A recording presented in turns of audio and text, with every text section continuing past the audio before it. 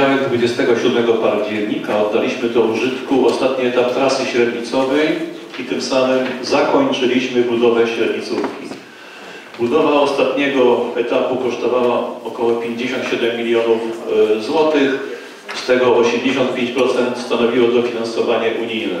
Przypomnę, że wykonawcą tej inwestycji było konsorcjum firm Przedsiębiorstwo Budowy Dróg S.A. ze Starogardu Gdańskiego i firma Ban z Szczewa.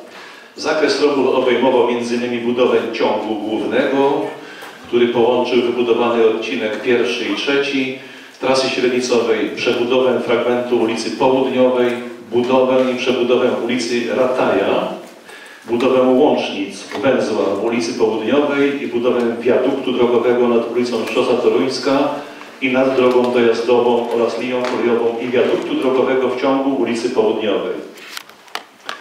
Kolejny temat to informacja taka, że oddaliśmy do użytku trzy pierwsze inwestycje zrealizowane w ramach grudziąckiego budżetu obywatelskiego.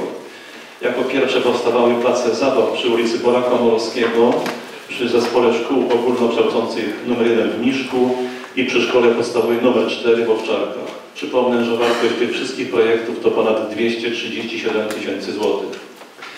Kolejna informacja to taka, że szpital nasz otrzymał dofinansowanie w wysokości 16,8 milionów złotych z możliwością zwiększenia tej kwoty do 19 milionów złotych, a dokładnie 18,9 z Regionalnego Programu Operacyjnego pod nazwą Przebudowa i Rozbudowa oraz zakup aparatów, urządzeń medycznych służących do diagnostyki, terapii i rehabilitacji dla oddziałów psychiatrycznych.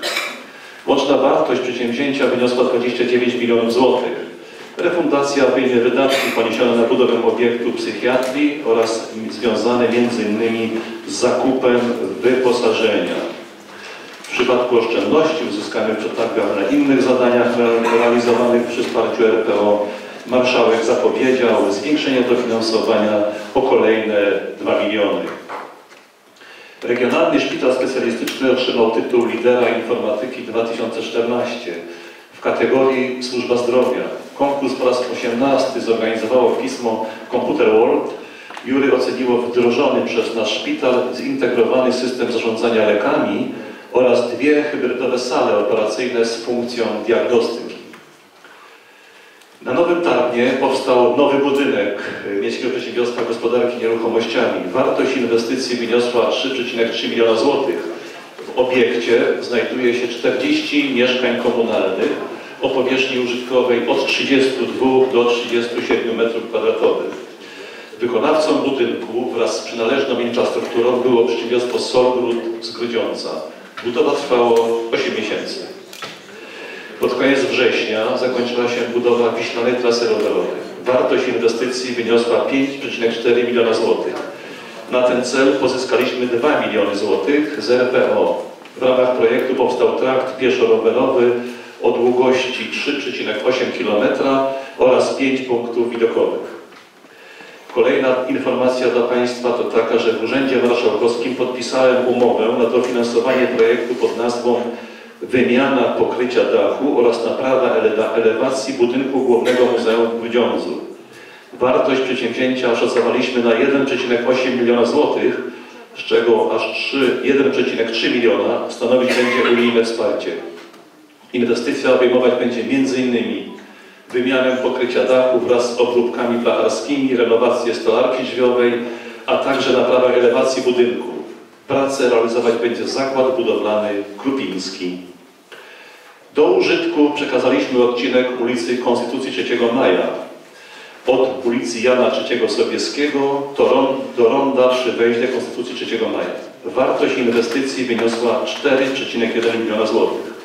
Pozyskaliśmy 950 tysięcy złotych dofinansowania w ramach Narodowego Programu Przebudowy Dróg Lokalnych. Pracę zrealizowała firma Skańska. Całkowita długość nowej drogi wynosi 917 metrów. W ramach modernizacji sieci tramwajowej zakończono pracę na odcinku od Alei 23 stycznia do ulicy Wieżowej. Obecnie wykonawca ustawia oznakowanie pionowe oraz podłącza oświetlenie na, na ulicy Aleja 23 stycznia. Prowadzone są roboty związane z układaniem mas bitumicznych na skrzyżowaniu ulicy Mieszka I z ulicą Legionów oraz na jezdni wzdłuż pętli w Tarnie. Skrzyżowanie powinno zostać otwarte do końca miesiąca. Równolegle trwają prace na odcinku od ulicy Słowackiego do ulicy Bema. Wylano płytę torowiska, wykonywane są chodniki oraz konstrukcja jezdni. W Parku Miejskim wykonywana jest nawierzchnia ścieżek. Powstają także murki. Kończą się roboty związane z montażem urządzeń na placu zabaw. Trwają nasadzenia. Wykonawca wystąpił o wydłużenie terminu zakończenia projektu w związku ze wstrzymaniem prac wynikających z konieczności dokonania zmian w projekcie. Po analizie wniosku uwzględniliśmy roszczenie terminowe firmy i na 30 listopada wyznaczyliśmy datę zakończenia inwestycji. Dobiegają również prace na Górze Zamkowej. Do wykonania pozostały roboty wewnątrz wieży Klimek, a także związane z budową kanalizacji deszczowej, zamontowaniem elementów małej architektury, zagospodarowaniem alejek i nasadzenia. Ze względu na czasowe wstrzymanie prac przy wieży Klimek wynikające z konieczności przeprojektowania jej posadowienia i budowy kanalizacji deszczowej oraz koniecznością jej przeprojektowania w związku z odkryciem nieznanych wcześniej reliktów murów zamku, termin zakończenia wydłużyliśmy do końca listopada bieżącego roku. Aktualnie jest wykonywany drugi etap modernizacji stadionu żużlowego. Do tej pory przeprowadzono rozbiórkę części trybuny. Trwa budowa ściany oporowej, nowej konstrukcji oraz nasypu pod trybunem. Rozpoczęły się prace związane z przebudową fragmentów ulic Kulerskiego i Frelicha na osiedlu Rządzy. Inwestycję o wartości 512 tysięcy złotych realizuje firma budowlana drogowa Prasbet. Zadanie obejmuje m.in. budowę nowej konstrukcji jezdni ulicy Kulerskiego o nawierzchni bitumicznej oraz budowę nowej konstrukcji jezdni Frelicha o nawierzchni z kostki betonowej. Prowadzona jest także modernizacja placu parkingowego na, tar na targowisku w Niszku. Tu wartość tej inwestycji wynosi 286 tysięcy złotych. Zakres robót budowlanych obejmuje m.in. wykonanie sieci kanalizacji deszczowej, wykonanie placu handlowego postojowego z kostki betonowej, wykonanie ścieżki dla rolkarzy i trawnika. Przygotowujemy się do ogłoszenia przetargu na przebudowę ulicy Sobieskiego. Początkowo planowaliśmy rozpoczęcie prac jeszcze w tym roku, jednak pojawiła się możliwość pozyskania na ten cel dofinansowania z Narodowego Programu Przebudowy Dróg Lokalnych, tzw. schetynówek. Warunkiem koniecznym jest rozpoczęcie inwestycji po 1 stycznia, po 1 stycznia 2015 roku. Dlatego też jeszcze w tym roku przeprowadzimy postępowanie przetargowe tak by na początku nowego roku podpisać umowę z wykonawcą. Przeprowadzono prace remontowo-renowacyjne na mogile zbiorowej ofiar terroru hitlerowskiego usytuowanej na cmentarzu przy ulicy Cmentarnej. Całkowity koszt realizacji projektu wyniósł 22,8 tysiąca złotych. Zadanie zostało sfinansowane przez Radę Ochrony Walki Męczeństwa w Warszawie w wysokości 10 tysięcy złotych, od wojewody otrzymaliśmy dotację w wysokości 9 tysięcy złotych oraz z budżetu miasta 3,8 tysiąca złotych. Grudziądz znalazł się na dziesiątym miejscu w kategorii miast na prawach powiatu w rankingu pisma samorządowego Wspólnota, w którym podsumowano wydatki samorządów na infrastrukturę techniczną w latach 2011-2013. Przygotowując wskaźniki rankingu inwestycyjnego wzięto pod uwagę tylko inwestycje skierowane na rozwój infrastruktury technicznej. Ofertę inwestycyjną Grudziądza promowaliśmy na wspólnym stoisku regionu z Bydgoszczą i Toruniem oraz Kujawsko-Pomorskim Centrum Obsługi Inwestorów podczas tegorocznej edycji największych w Europie targów nieruchomości Expo Real. Przedstawiciele naszego miasta zaprezentowali między innymi ofertę pod nieruchomości logistyczne i przemysłowe, a także pod lokalizację hoteli i usług oraz deweloperską ofertę mieszkaniową. Wśród promowanych nieruchomości znalazły się zarówno działki miejskie, jak również działki Grudziąckiego Parku Przemysłowego i Pomorskiej Specjalnej Strefy Ekonomicznej. W Centrum Kształcenia Praktycznego otworzyliśmy pracownię metrologii która wyposażona jest w wykorzystywane w przemyśle na etapie kontroli jakości najnowocześniejsze maszyny pomiarowe. Wyposażenie uzupełniono także o sprzęt, o sprzęt multimedialny. Po raz siódmy zorganizowaliśmy Grudziąckie Forum Porozumienia w Szkole. W wydarzeniu uczestniczyli m.in. dyrektorzy, pedagodzy, liderzy wewnątrzszkolnego doskonalenia nauczycieli wszystkich typów szkół i placówek z terenu Grudziądza oraz okolicznych gmin. Jak co roku z okazji Dnia Edukacji Narodowej spotkałem się z dyrektorami i nauczycielami grudziąckich placówek, by wręczyć nagrody i wyróżnienia dla najbardziej zaangażowanych pedagogów. Nagrodę specjalną przyznałem panu Zbigniewowi Poliszczukowi. Ponadto trafiły do 27 osób. W ramach obchodów Dnia Edukacji odbyło się również w Urzędzie Miejskim spotkanie z emerytowanymi dyrektorami placówek oświatowych. Przygotowaliśmy bezpłatne warsztaty dla seniorów pod nazwą Psychologia sprzedaży, czyli jak uniknąć zawarcia niekorzystnej umowy. Odbyły się już dwa spotkania, 13 i 14 listopada. Zaplanowano kolejne szkolenia, m.in. na temat zakupów na pokazach, wywierania wpływu na ludzi oraz sposobu rozwiązywania niekorzystnej umowy. Modernizacja ośrodka wypoczynkowego nad Jeziorem Ludnickim została uznana za jedną, e, za inwestycję najbardziej sprzyjającą rozwojowi turystyki w regionie i uzyskała tytuł odkrywca 2014 roku w konkursie Marszałka Województwa Kujawsko-Pomorskiego. Z kolei nasz Miejski Punkt Informacji otrzymał certyfikat jakości. Pozytywną ocenę komisji przeszły tylko 3 z 14 zgłoszonych punktów informacji. Ponad 100 osób e, wzięło udział w akcji Grudziądzanie sadzą las. Dzięki pomocy mieszkańców naszego miasta posadzono sadzonki dębu i lipy w miejscach spalonego drzewostanu w lesie komunalnym. Na koniec chciałbym Państwa radnych serdecznie zaprosić na dzień 11 listopada do udziału w uroczystościach z okazji 96. rocznicy odzyskania przez Polskę niepodległości. Uroczystości patriotyczne odbędą się na rynku. Tego dnia mieszkańcy i goście naszego miasta będą mieli również okazję zwiedzić jak co roku Cytadelę.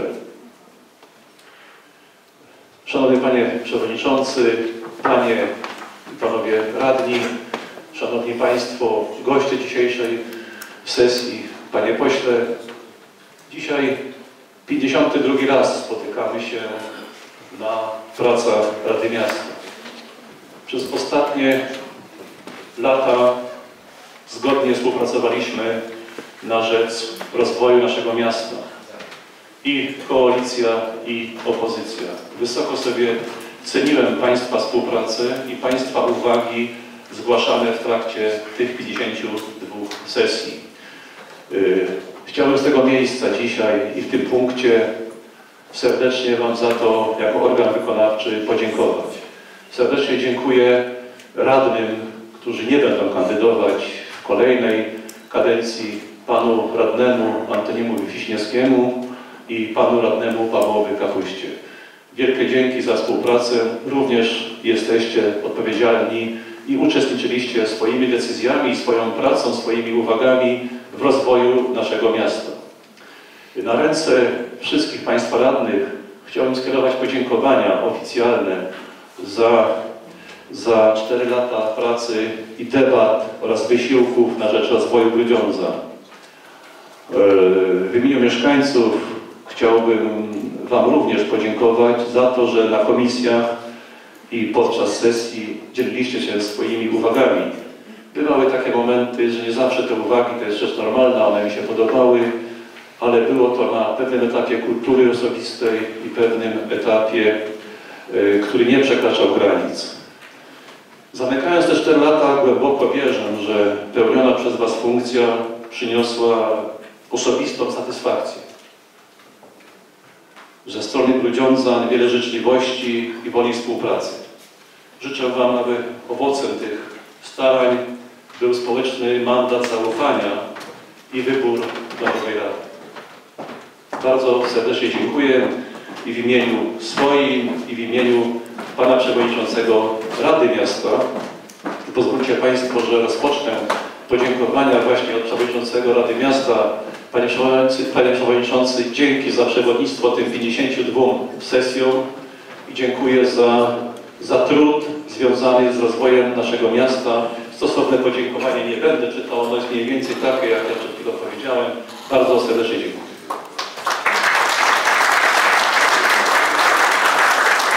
Różne były zdania, pracowaliśmy dla dobra miasta i sądzę, że życzę Państwu także, że będziemy dalej współpracować. Zostańmy jeszcze chwilę przy tych podziękowaniach. Ja pozwolę sobie w imieniu Klubu Radnych Prawo i Sprawiedliwość dla Grudziądza również serdecznie podziękować za współpracę. Mam nadzieję, że mimo różnic, jakie między nami występowały, to e, współpraca układała się w miarę dobrze. E, Chociaż ja odbieram to jako trudną kadencję, jeżeli chodzi o współpracę, to mimo wszystko chciałem serdecznie podziękować i mam nadzieję, że e, był to czas, który również przyczynił się do rozwoju e, naszego miasta Grudziądza. Dziękuję również, też chciałem się dołączyć do tych podziękowań dla Pań z Biura Rady. Bardzo serdecznie dziękuję osobiście, dziękuję w imieniu, w imieniu radnych i życzę Państwu, życzę naszemu miastu wszystkiego najlepszego. Dziękuję.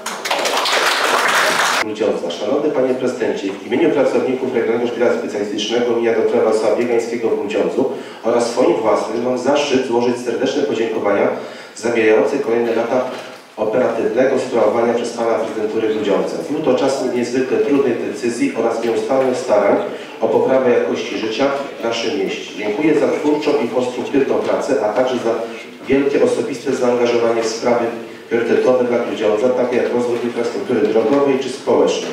Szczególnie pragnę podziękować za wkład finansowy w rozbudowę, modernizację i wyposażenie naszego szpitala.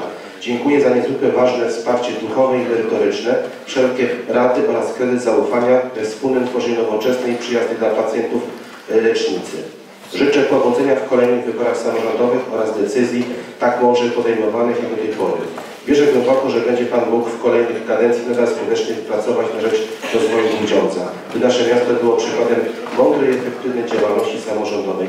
Z szacunku Marek Nowak, dyrektor szpitala.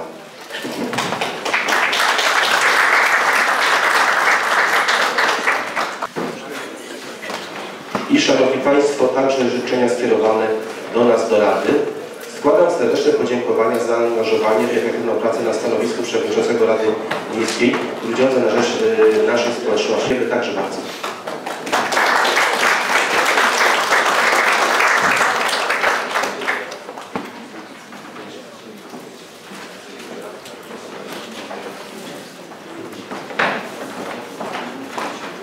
Radny Szymański, Pan Radny Kosiński. 2014 roku na sesji Rady Miejskiej składałem zapytanie, kiedy zostanie zakończony i rozliczony projekt modernizacji sieci tramwajowej. A pytałem o to innymi dlatego, że już wtedy, a więc mówię o maju 2014, e, naszym zdaniem, moim zdaniem pojawiły się pewne mm, nierozpoczęte prace na tym odcinku. E, Uważaliśmy, że jest to już e, kwestia, m, że w ogóle ta inwestycja jest bardzo opóźniona.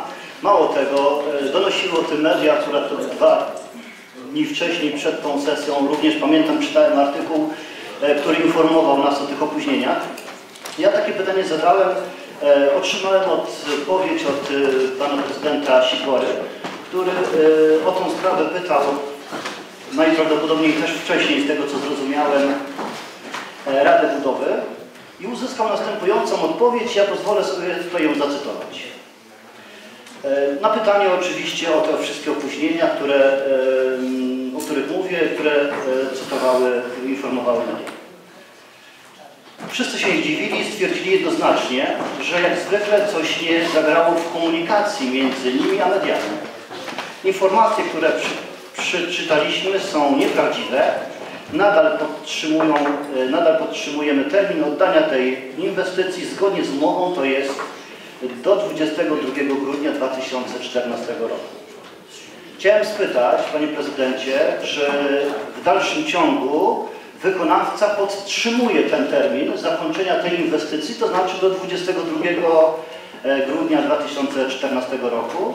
I przy okazji spytam, ponieważ e, no, dosyć często się mówiło o tych opóźnieniach, co miasto zrobiło, a więc e, inwestor, by tych opóźnień nie było i by ten termin faktycznie zgodnie z umową został e, domknięty, a więc inwestycja w tym dniu została zakończona. Dziękuję bardzo. Panie Przewodniczący, Szanowni Państwo, mam w zasadzie dwa pytania. Jedno pytanie dotyczy y, sprawy kwestii realizacji inwestycji modernizacji nawierzchni targowiska w Miszku z tego względu, że pierwotnie zaplanowana kwota, a mianowicie 500 tysięcy złotych, y, zakładała mojej oceny prawdopodobnie taką gruntowną przebudowę całego tego obszaru, tego terenu, natomiast zakres inwestycyjny w ostatnim czasie został dość chyba mocno ograniczony i w zasadzie wymiar realizowanej inwestycji jest yy, taki sam nie do końca, dlatego że, że, że pewne kwestie zostały zmienione. Ten obszar dzisiaj nie jest największy. Myśleliśmy tutaj o powiększeniu też terenu targowiska, terenu handlowego uważam, że niedobrą rzeczą jest wykonanie tej modernizacji zaledwie w 50%, bo pozostanie w dalszym ciągu problem i zatoki autobusowej, tego pozostałej części terenu. Należało tą inwestycję zrobić zgodnie z zasadami, rezerwując tak dużą kwotę dla całego tego obszaru niżku. To co jest, jest to wykonanie zaledwie 50% yy, w ograniczonym zakresie, tak jak mówię i myślę, że nie spełni to do końca swojego zadania. Jeszcze jedno pytanie mam związane z modernizacją także torowiska tramwajowego. Pan prezydent mówi o zakończeniu pewnych tutaj etapów i chciałbym, aby Pan Prezydent mi odpowiedział i rozwiał pewne obawy, ponieważ niedawno mieliśmy do czynienia też z pewnymi informacjami medialnymi o tym, że tory albo są za wąsko położone, albo za szeroko. Czy to wszystko jest nieprawda? Bo jeżeli tak jest realizowana modernizacja, czy nie będziemy musieli tej inwestycji poprawiać w pewnych etapach, to oczywiście dotyczy kwestii odcinka na wysokości CKU. Taka informacja dziś pojawiła się. Chciałbym, żeby Pan Prezydent wyjaśnił, co tam jest realizowane, czy ta inwestycja przebiega do końca prawidłowo. Dziękuję bardzo. Dziękuję bardzo. Wracając do Pana wypowiedzi na temat e, dofinansowania przebudowy ulicy, budowy nowego odcinka Konstytucji 3 Maja, słyszeliśmy, że wynosiło to dofinansowanie kwota 950 tysięcy złotych, natomiast przypominam sobie, że we wrześniu tak, było zwiększenie. Tak, było zwiększenie, było. Okej, dziękuję, chciałem. Dziękuję. Dziękuję bardzo, bardzo proszę Panie Prezydencie. Szanowni Panowie Radni, poproszę Pana Wiceprezydenta o udzielenie odpowiedzi Panu Radnemu Szymańskiemu na temat y, projektu realizacji inwestycji tramwajowej, Panu Kozińskiemu na temat targowiska i również czy tory są za szerokie czy za wąskie. Panie Przewodniczący, Szanowni Państwo Radny, zacznę od odpowiedzi Panom Radnym, Panu Poszyńskiemu, Szymańskiemu na temat torowiska. Może do ostatniego pytania dotyczącego torowiska tych torach za wąskich, za szerokich. Szanowni Państwo, no jesteśmy w okresie kampanii wyborczej, różne rzeczy różni ludzie wymyślają. Cztery lata temu podobno za małe warstwy były ułożone na ulicy Halera, w tym roku za wąskie tory na ulicy Legionów. Na ulicy Legionów po prostu wykonawca nieprawidłowo położył warstwę betonu pomiędzy jakby główną jezdnią a szyną. Y, Ta warstwa była za wysoka o 3 mm, mamy precyzyjny nadzór. Pan Jankowiaka z Bydgoszczy po prostu kazał sfrezować bądź zedrzeć tą warstwę i jeszcze raz położyć, bo byłaby o 3 mm za wysoka y, w stosunku do torów. Czy jeżeli chodzi o pytanie pana radnego Szymańskiego odnośnie terminu zakończenia, rzeczywiście 18 maja pismo, kiedy panu radnemu podpisywałem odpowiedź, wiedza nasza i wykonawcy i wszystkich na radach budowy była zawsze taka, że do 22 grudnia wykonawca twierdził, że wyrobi się z terminem. Mało tego, twierdził tak mniej więcej do, do września. Od września zaczął przebąkiwać, że być może nie zdąży i podczas ostatniej rady budowy, którą odbyliśmy w tym tygodniu, w poniedziałek, już powiedział, że w najbliższych dniach zamierza złożyć pismo do inwestora, czyli do miasta, e, z uzasadnieniem, z prośbą o wydłużeniu terminu zakończenia tej inwestycji. Nie sprecyzował jeszcze do jakiego terminu. Mówił na Radzie Budowy, że potrzebuje kilka miesięcy ciepłych, pomijając miesiące zimowe, ponieważ w okresie zimowym, nawet gdyby sprzyjała temperatura, nie byłoby dużych e, opadów e, śniegu, to i tak nie mógłby choćby niektórych prac wykonywać ze względu na temperatury w granicach 0 stopni, a w przypadku na przykład wylewania płyt betonowych potrzebujemy co najmniej 10 dni temperatury około 5 stopni. Kolejne pytanie dotyczyło, no co miasto robi, zrobiło w zakresie tym, aby ta inwestycja jak najszybciej była ukończona. No cały czas no nie ma tygodnia, abyśmy nie wspierali wszystkich w tym procesie inwestycyjnym, aby, aby ta inwestycja jak najszybciej się skończyła. Przykładowo prezydent Malinowski uczestniczy w rozmowach z dyrekcją zakładu karnego. Wiem, że zakład karny na ulicy Wybickiego, no każdego dnia są dowożeni tam skazani i wywożeni, więc i, i, czy też karetki, tak, pogotowia, więc tam jest cały czas rozmowy, w jaki sposób można zamknąć tą drogę, aby móc prowadzić prace budowlane, czy dyrekcja zgodziłaby się na dojazd od strony ulicy Sienkiewicza, czy połówkowy jakiś dojazd, więc choćby te rozmowy z, z więzieniem, dalej rozmowy z Wojewódzkim Konserwatorem Zabytków, aby tam każde pismo skierowane ze strony wykonawcy nie czekało na odpowiedź standardowo 30 dni, tylko następnego dnia bądź w dniu jakby dostarczenia była odpowiedź, bo to wszystko nam się przekłada na terminy. To samo dotyczy spotkań jakby rozmów z Pomorską Spółką Gazowniczą, z miejskimi wodociągami, z energetyką, z przedsiębiorstwem usług miejskich, ostatnio choćby w sprawie położenia kabli zasilających na Alei 23 stycznia tych prac, które w tej chwili są prowadzone, a przechodzą przez działkę PUM-u i tak dalej, i tak dalej. W przypadku pytania pana radnego Kosińskiego odnośnie targowiska w Mniszku, no panie radny, były konsultacje w szkole w Mniszku, na których to pan uczestniczył. Po tych konsultacjach pan i kilku zaledwie mieszkańców mieszkania zaakceptowało propozycje przedkładane tam na tej sali. Są protokoły, są podpisy z tego spotkania. I dzisiaj po pół roku się dowiadujemy, że to nie jest to, co pan wnioskował i co pan zatwierdzał pół roku temu. Jest to zgodne z tym, co zostało wspólnie skonsultowane z mieszkańcami Mniszka. Pana Radnego Kosińskiego pytanie odnośnie torów. Ani nie będą większe, ani nie będą mniejsze, będą co do milimetra. Co do milimetra. Yy, Mówiąc jeszcze o targowisku, zupełnie czymś innym jest zmiana, rozszerzenie powierzchni, zupełnie inne są decyzje dokumentacyjne i pozwoleniowe niż odtworzenie istniejącej, istniejącego targowiska. Nigdy nie było dyskusji o rozbudowie i o powiększeniu. Nigdy. Było tylko o przygotowaniu tego targowiska do funkcjonowania w takim, w takim miejscu i w takim rozmiarze, jakie jest w tej chwili. Albo, Szanowni Państwo, odwrócę, halo, raz, raz. Znaczy odpowiem na pytanie, y, takie konsultacje się odbyły, co prawda y, niewielu mieszkańców ich brało udział, natomiast ja osobiście nie składałem żadnego podpisu. To, co zostało przedstawione, to różne koncepcje zagospodarowania tego terenu. Finalnego uzgodnienia oczywiście nie było, było kwestionowane ogrodzenie tego terenu, tylko ta kwestia, natomiast odnoszę się do kontekstu zaplanowanej kwoty 500 tysięcy złotych w roku budżetowym i do zakresu wykonania robót. Uważam, że należało te środki wykorzystać, żeby poprawić całą strukturę nie tylko targowiska, ale zatoki parkingowej dla autobusu, dlatego że uważam, że Państwo robicie to zadanie połowicznie.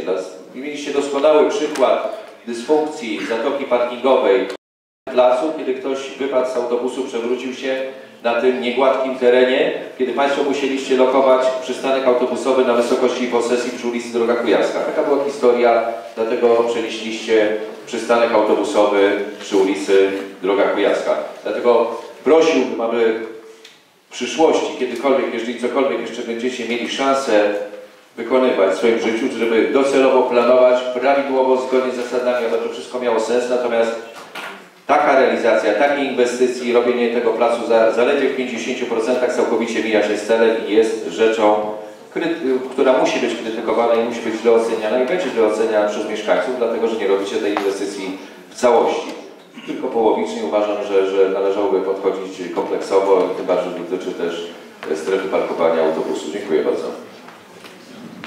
Dziękuję bardzo. Panie Prezydencie, Fundusz Obywatelski wzbudził duże zainteresowanie i nadzieję wśród mieszkańców. Chciałam zapytać, ponieważ wykonane, z tego co Pan Prezydent powiedział, wykonane są e, na razie trzy place zabaw. Czy jest szansa, żeby zrealizować pozostałe zaakceptowane projekty w tym roku, a jeżeli nie, to mm, jaka jest gwarancja, że w najbliższym e, terminie? Dziękuję. Dziękuję bardzo. akceptacji po wszystkich procedurach zostały zakwalifikowane 22 wnioski. E, Dzisiaj, w dniu dzisiejszym około 11-12 wniosków powinno być zrealizowanych, jeżeli pogoda nam pozwoli jeszcze w tym roku, a pozostałe na wiosnę. One są w trakcie realizacji, cały szereg wniosków. Ja mówiłem, że trzy zostały już uruchomione, one były najprostsze w swojej realizacji. Pozostałe wnioski w tym roku, ja mówię, chcemy gdzieś 11-12, żeby było zrealizowanych, a pozostałe na wiosnę. Dziękuję bardzo. Czy jakieś jeszcze pytania do tego punktu? A wykonuje są na stronie Biuletynu Informacji Publicznej do pobrania. Bez problemu każdy może sobie pobrać, nie musi być e, wykonawcą, po prostu każdy pobiera, rozpakowuje i ogląda dokumentację przetargową.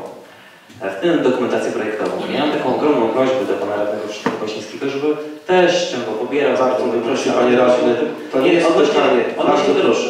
Panie Przewodniczący, ponieważ jest dorzucone... Nie, ale jesteśmy w innym punkcie. Możemy... Nie, ale chciałem tylko odpowiedzieć, tak? Pan prezydent Jeżeli- powiedział, bardzo proszę. Jeżeli trzeba zasad, bardzo proszę. I kończę, króciutko. Jeżeli kosztorys był na pół miliona i wykonawca w przetargu deklaruje kwotę po, połowę tej kwoty i wykonuje w 100%, to nie znaczy, że on wykonuje połowę tego zakresu targowiska. Wykonuje 100%. Jeżeli zechciałby Pan się zapoznać z deklaracją przetargową, zobaczy Pan też, że jest miejsce na zapłatę autobusu. No niestety tak, proszę. Dobrze. Yy, proszę Pana, kwestia zapoznania się z dokumentacją techniczną to jedna. Natomiast kwestia potrzeb ludzkich i tego, o czym mówimy od wielu, wielu lat w tym miejscu, to jest kwestia druga. I Pan chyba całkowicie nie rozumie i nie zna potrzeb tej dzielnicy. Pomimo tego, że jest Pan radnym z tej dzielnicy.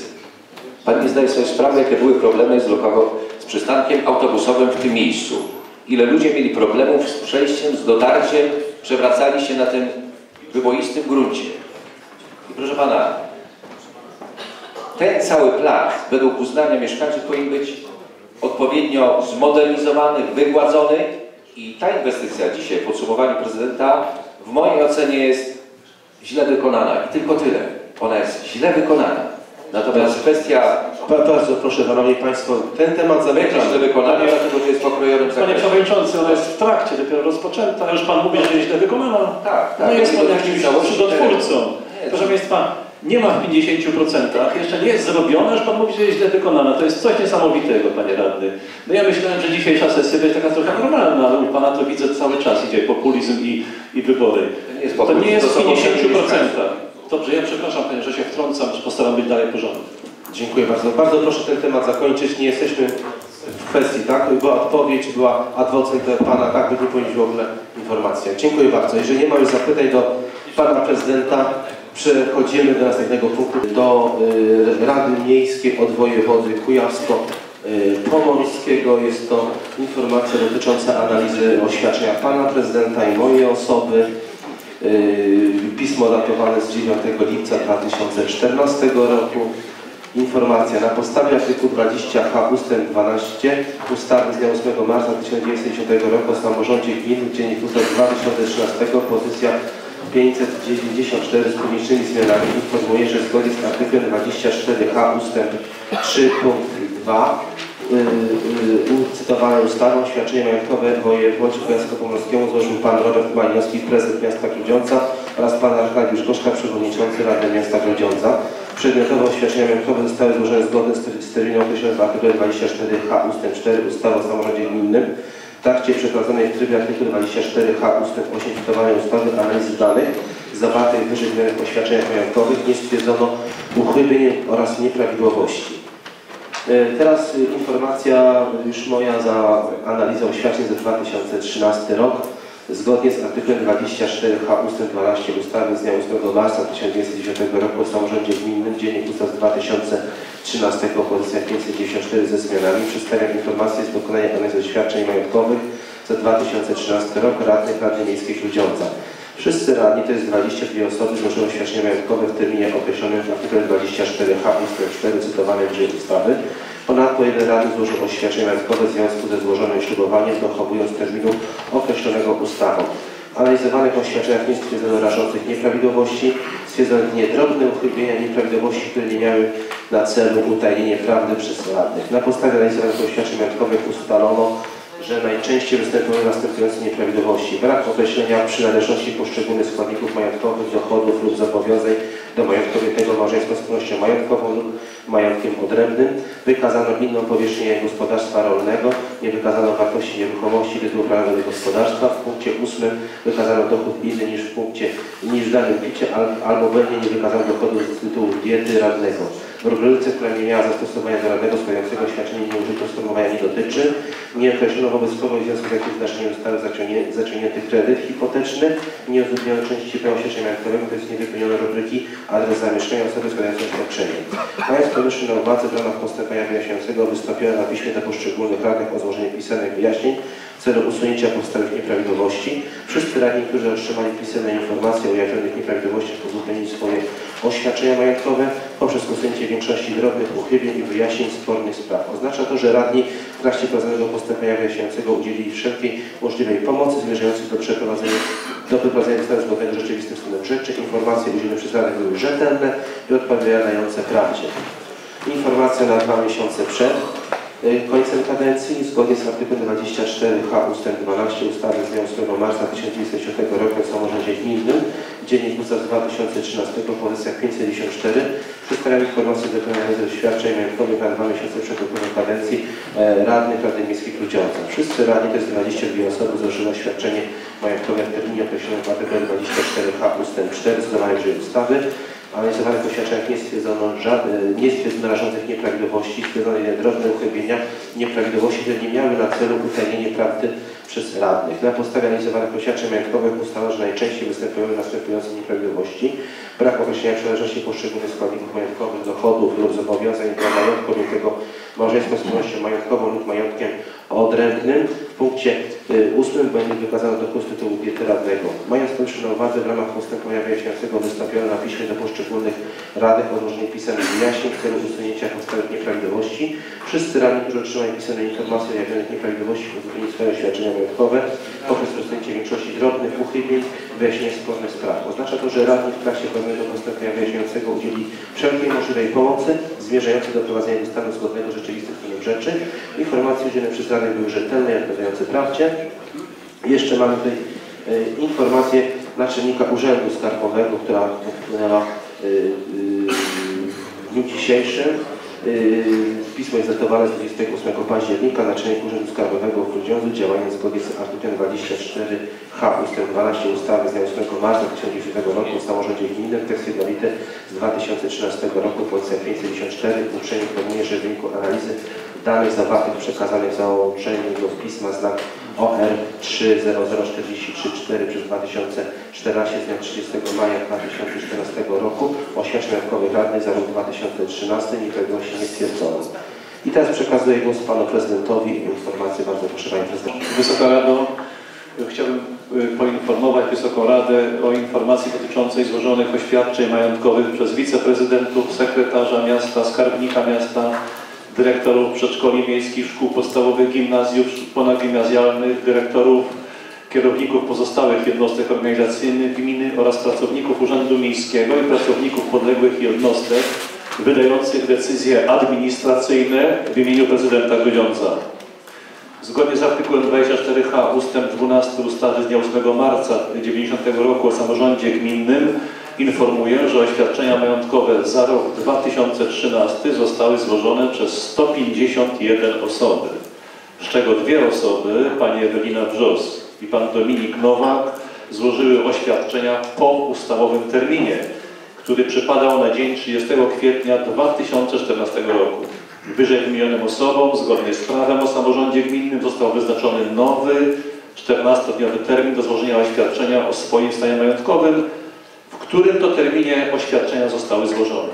Ponadto w trakcie 2014 roku w związku z udzielonymi upoważnieniami do wydawania decyzji administracyjnych w imieniu prezydenta powołania na stanowisko kierownika jednostki organizacyjnej lub zakończenia pełnienia funkcji kierownika jednostki oświadczenia o swoim stanie majątkowym złożyło 18 osób. W wyniku analizy wyżej wymienionych oświadczeń majątkowych stwierdzono drobne uchybienia, które polegały m.in. na tym, że osoby zobowiązane do składania oświadczeń majątkowych nie przypisały poszczególnych składników majątku dochodów lub zobowiązań do majątku odrębnego lub małżeńskiej wspólności majątkowej. Nie zostały podane dokładne powierzchnie nieruchomości oraz wysokość zobowiązań pieniężnych. Przedmiotowe oświadczenia przekazano również do naczelników urzędów skarbowych w Grudziądzu, Chełmie, Świeciu i Wąbrzeźnie w celu dokonania analizy pod względem finansowym. Do dnia dzisiejszego tylko naczelnik Urzędu Skarbowego ze Świecia pismem AP łamane przez 072 myślnik 16 łamane przez 14 przekazał informację, że w oświadczeniach majątkowych nieprawidłowości nie stwierdzono. W celu usprawnienia i ułatwienia wypełnienia druków oświadczeń majątkowych w roku przyszłym informuję, że na stronach Biuletynu Informacji Publicznej został opublikowany formularz do wypełnienia w formie edytora tekstu. Y, Jest to już cała informacja i dziękuję za uwagę. Dziękuję Panie Prezydencie. Szanowni Państwo, przechodzimy do kolejnego punktu porządku obrad Gminy Miasta Grudziądz w roku szkolnym 2013-2014. Czy ktoś z Państwa chciałby się do tej informacji odnieść? Bardzo proszę Pan Wiceprzewodniczący Marek Czepek. Na wspólnych komisjach Rady Miasta zadałem pytanie, co się dzieje w celu y, wyrównania dysproporcji, które powstały y, w wyniku egzaminów w szkołach podstawowych, gimnazjach i średnich. I dostałem obszerną informację od pana na- naczelnika Wydziału Edukacji, pana Andrzeja Herka, za którą bardzo dziękuję. Dziękuję Panu Wiceprzewodniczący 2013-2014. Szanowni Państwo, w związku z powyższym przechodzimy do następnego punktu porządku obrad. To jest projekt uchwały yy, zmieniającej uchwałę w sprawie uchwalenia budżetu na 2014 rok. Chciałbym tylko Państwu przypomnieć, że na yy, komisjach wspólnych otrzymaliście Państwo autopoprawkę do tego projektu uchwały. Yy, Czy ktoś z Państwa chciałby zabrać głos nad tym projektem? Pan radny Krzysztof Kosiński, bardzo proszę. Panie Przewodniczący, Szanowni Radni, podejmujemy uchwałę yy, dotyczącą oczywiście kwestii zmian w budżecie, ale uchwałę istotną z tego względu, że jest szereg różnych wydatków, do których ja mam akurat pytanie. Może zacznę od pierwszej kwestii, najważniejszej, mianowicie w załączniku drugim chodzi o zwiększenie wydatków na tak zwane świadczenia usług przewozowych komunikacji miejskiej. Zwiększenie wydatków na świadczenie usług przewozu komunikacji miejskiej. W pierwszej chwili myślałem, że chodzi o może 40 tysięcy, ale patrzcie, jest tutaj zapisana kwota 4 milionów 71 tysięcy złotych. Zwiększamy wydatki, zwiększamy wydatki na komunikację miejską o 4 miliony złotych, Szanowni Państwo. O 4 miliony. To zwiększenie wydatków związane jest z prowadzeniem zmienionej organizacji ruchu w związku z modernizacją sieci tramwajowej, modernizacją i zamknięciem na czas remontu ulic miasta Bydgoskiej, Chełmińskiej, Szosy Toruńskiej, co spowodowało powiększenie wartości pracy przewozowej zaplanowanej na 2014 rok. Ze względu na waloryzację stawki wozokilometra autobusowego dla Arriva także. Czy mógłby Pan Prezydent wyjaśnić nam, szerzej powiedzieć nam, na co wydatkujemy, zwiększamy tą kwotę aż o 4 miliony złotych. Czy mógłby Pan uchylić rąbka tajemnicy przedstawić nam szczegóły dotyczące także tej waloryzacji y, dla Arrivy i co kosztuje te 4 miliony złotych w ramach tych rzeczy, które zdarzyły się przez planowaną modernizację. Czy możemy uzyskać jakieś wyjaśnienia odnośnie tej kwestii? Prosiłbym w pierwszej kolejności. Dziękuję. Dziękuję bardzo. Czy ktoś jeszcze z Państwa ma pytania? Pyta się o szczegóły, czyli o stawki związane z waloryzacją. No nie mamy nikogo z transportu. Panie sekretarzu. Proszę Państwa, mamy wpisane w umowie z każdym, z każdym z przewoźników i z przewoźnikiem y, prywatnym, jakim jest Arriva i z przewoźnikiem naszym, jakim jest MZK, coroczną waloryzację stawki związaną y, z cenami funkcjonowania i z kosztami y, przewozowymi. Waloryzacja, dopłata do usług komunikacji w wysokości 4 miliony 71 tysięcy złotych jest związana, tak jak pisze Panie Radny, w tym opisie uchwały budżetowej Dwa fakty. Pierwsze, modernizacja sieci tramwajowej, o której Pan wspomniał, nie ma tych przewozów, które były po stronie dochodowej MZK, czyli jakby te tramwaje jeździły, to byłby określony dochód. W wyniku inwestycji tego dochodu nie ma, więc tu ponosi MZK określoną stratę. To jest pierwsze, to jest chyba wszystko yy, szczeg- szczegółowo opisane. Natomiast drugie, waloryzacja stawki, Pan pytał o szczegóły, mówi jakaś tajemnica, tu nie ma żadnych tajemnic. Za chwilę się Pan dowie, z jakiej kwoty do jakiej kwoty zostało to zwiększone. Jeżeli Pan pozwoli, to po przyjściu odpowiedniej pracowniczki z Wydziału Transportowego Yy, Pani naczelnik jest na zwolnieniu lekarskim i tu wygląda na to, że nie wyznaczyła następczyni, za co przepraszam, ale tą odpowiedź udzielę w następnym punkcie. Czy może jakaś przerwę? Nie wiem na tą odpowiedź. Aha, dobrze, dobrze, dobrze, to w takim razie. Dobrze, czy jakieś jeszcze pytania Państwo, Państwo do... Jeżeli nie ma, to będziemy przystępowali do głosowania. Bardzo proszę. No.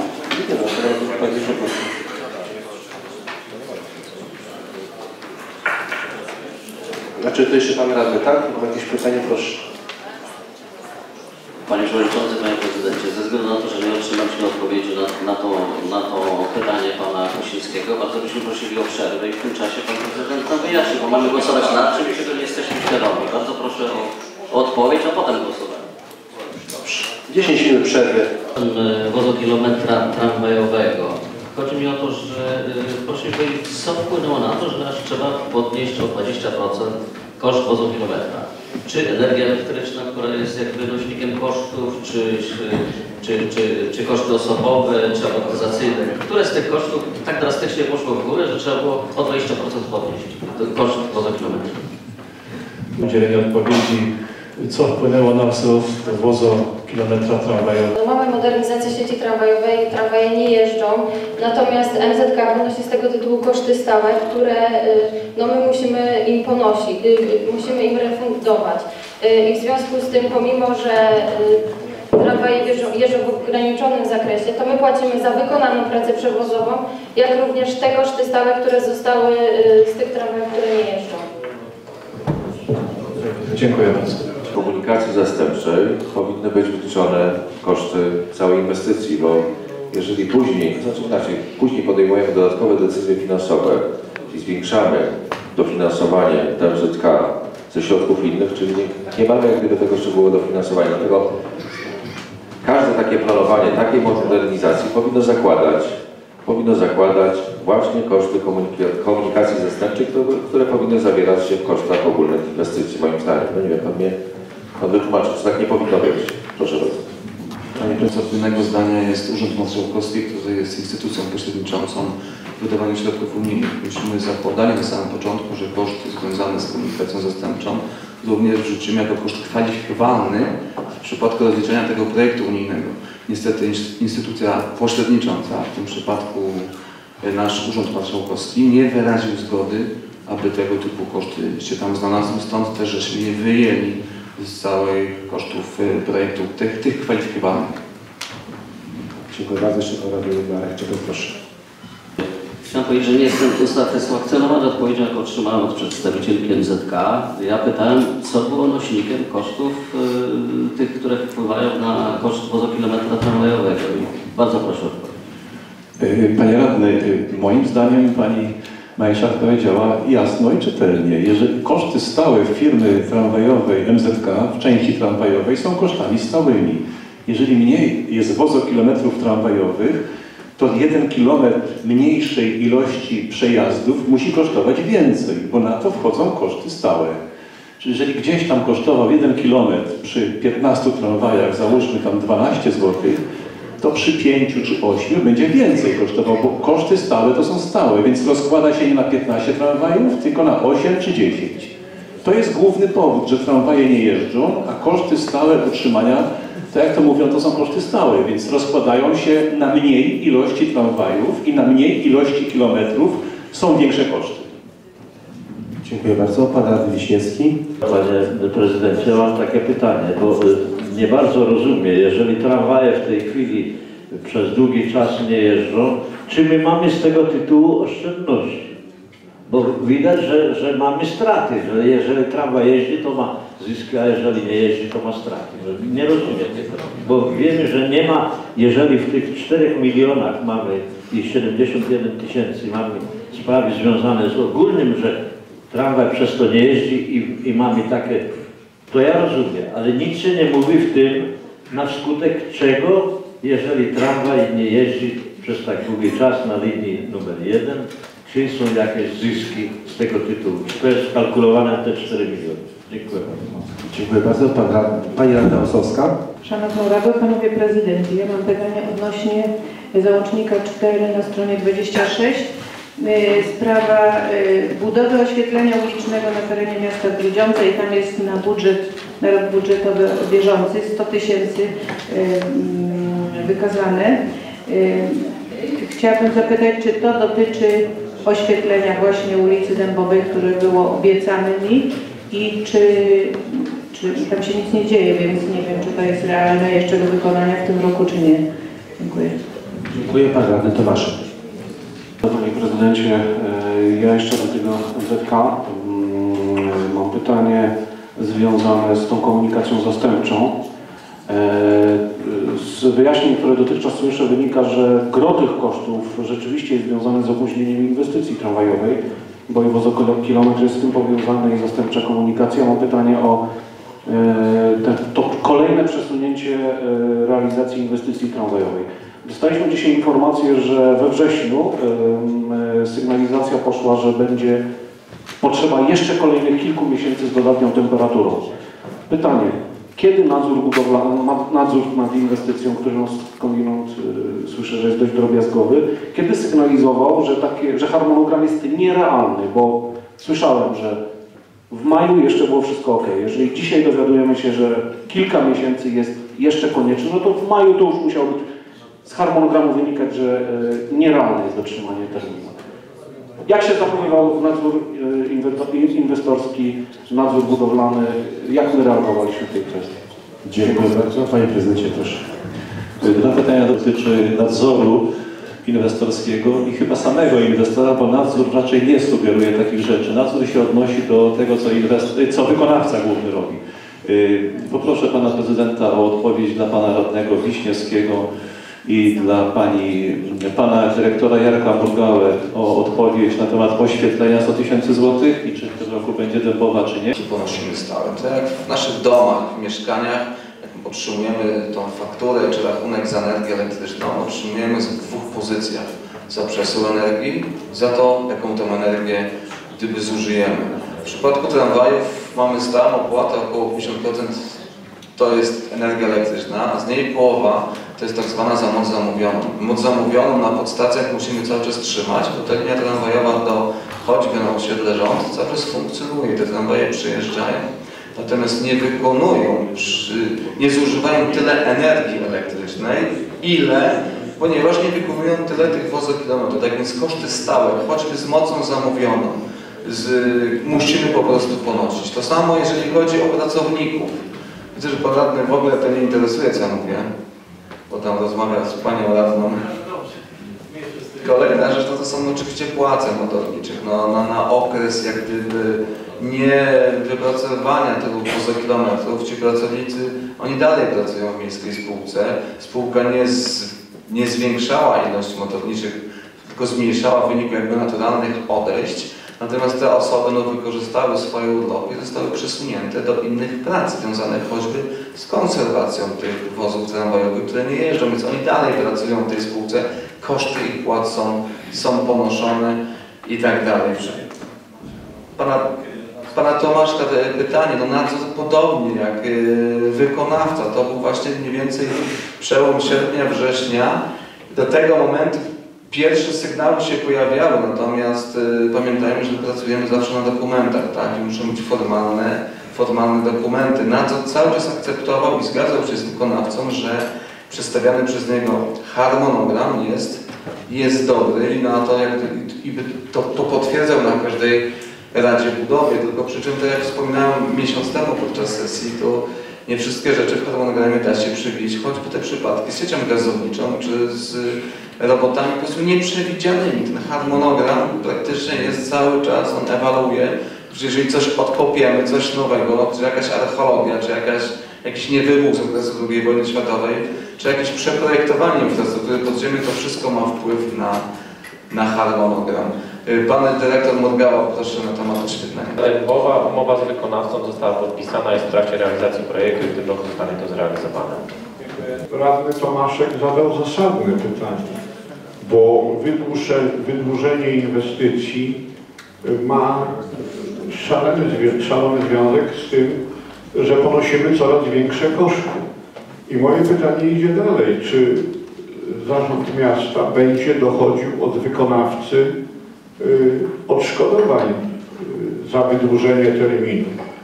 Bo tłumaczenie się, że gdzieś y, jakieś instalacje niezindykowane, niezarejestrowane, y, przecież ktoś podpisał umowę na określony termin, y, wie, że zdarzają się różne rzeczy i czy nie y, jakiegoś zabezpieczenia czasowego nie uwzględnia y, po prostu pieniądze komuś zabrakło, bo koszty ponosimy. Dziękuję bardzo. Dziękuję bardzo. Pan radny Marwal. E, Panie Przewodniczący, e, Wysoka Rado, e, Panie Prezydencie. Ja jeszcze wrócę do tego tematu MZK i dofinansowania e, 4 milionów tej kwoty. Panie Prezydencie, Pana wyjaśnienia odnośnie tramwajów jest bardzo logiczne. Oczywiście, tramwaje nie jeżdżą, nie zarabiają. Koszty stałe zostają i tu jest sprawa bardzo prosta, jasna i zrozumiała. Natomiast idąc tym tokiem rozumowania y, do drugiej części, tej związanej z 6% podwyżką, to jest 36 groszy na jednym kilometrze dla Ariby, no to tutaj jest akurat odwrotnie, bo jeżeli nie jeżdżą tramwaje, to jeździ komunikacja zastępcza, czyli oni w tym wypadku zarabiają więcej. I teraz, Panie Prezydencie, jeżeli w tej chwili, ja nie wiem, czy to jest najlepszy okres na podwyżkę, z uwagi na to, że jednym z takich podstawowych kosztów ponoszonych przez y, przewoźnika są ceny paliwa. Ostatnio idą w dół i będą szły. Więc y, uważam, że to w tym akurat okresie czasu nie jest najlepszy moment na y, podwyższanie jednego pozytywu. Dziękuję. Dziękuję. Pan radny Szyszko. Na dzień dzisiejszy żadnego oficjalnego pisma związanego z przedłużeniem harmonogramu wykonania robót przy przebudowie torowisk. Dzisiaj, jak rozmawiam, to jeszcze na oczy nie widziałem. Takie pismo, jeżeli zostanie złożone, a spodziewamy się, to będzie podlegało szczegółowej analizie i jeżeli będą uzasadnione opis, uzasadnione pretensje wykonawcy o przedłużenie, to my się zgodzimy. Jeżeli się zgodzimy, no to nie ma żadnego odszkodowania. Idzie wykonawca do sądu, przedłuża inwestycje i wygra i jeszcze musimy to zapłacić. Takie są procedury. Więc to, co Pan Wiceprezydent powiedział, na, tych, na tej przebudowie torowisk tramwajowych dzieją się różne nieprzewidziane rzeczy i są to uzasadnione przypadki związane z przerwą i z dodatkową robotą. Tak jest y, na przebudowie torowisk. Y, Do Pana Radnego Nowala to, że powiedział, że komunikacja, y, komunikacja zastępcza nie dotyczy AWID. To, to wszystko robi MZK, ale z czego wynika waloryzacja 5,5%, bo to tyle wychodzi w tej chwili, to proszę bardzo Pana Wiceprezydenta Ariby, z- jak wspomniałem wcześniej, zwiększenie stawki WZT wynika z umowy. Umowy zawartej ponad 5 lat temu. To jest umowa wieloletnia, która była załącznikiem do specyfikacji istotnych warunków postępowania naszego przetargowego, czy do naszego przetargu na szukanie tego wykonawcy.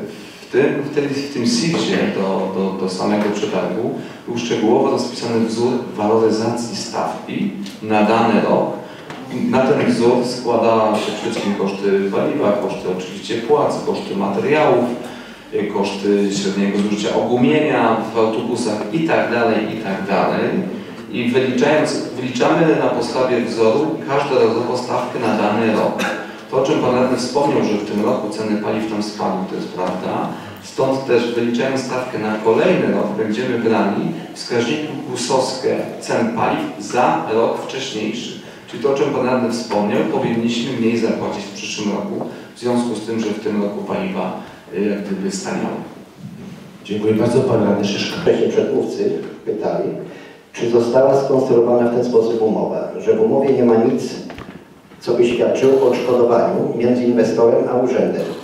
Dopiero teraz mamy podejmować decyzję, jeżeli inwestor powie, że słuchajcie, my przedłużamy nasze prace, bo nie, nie wykonamy tego w terminie. Jak to jest?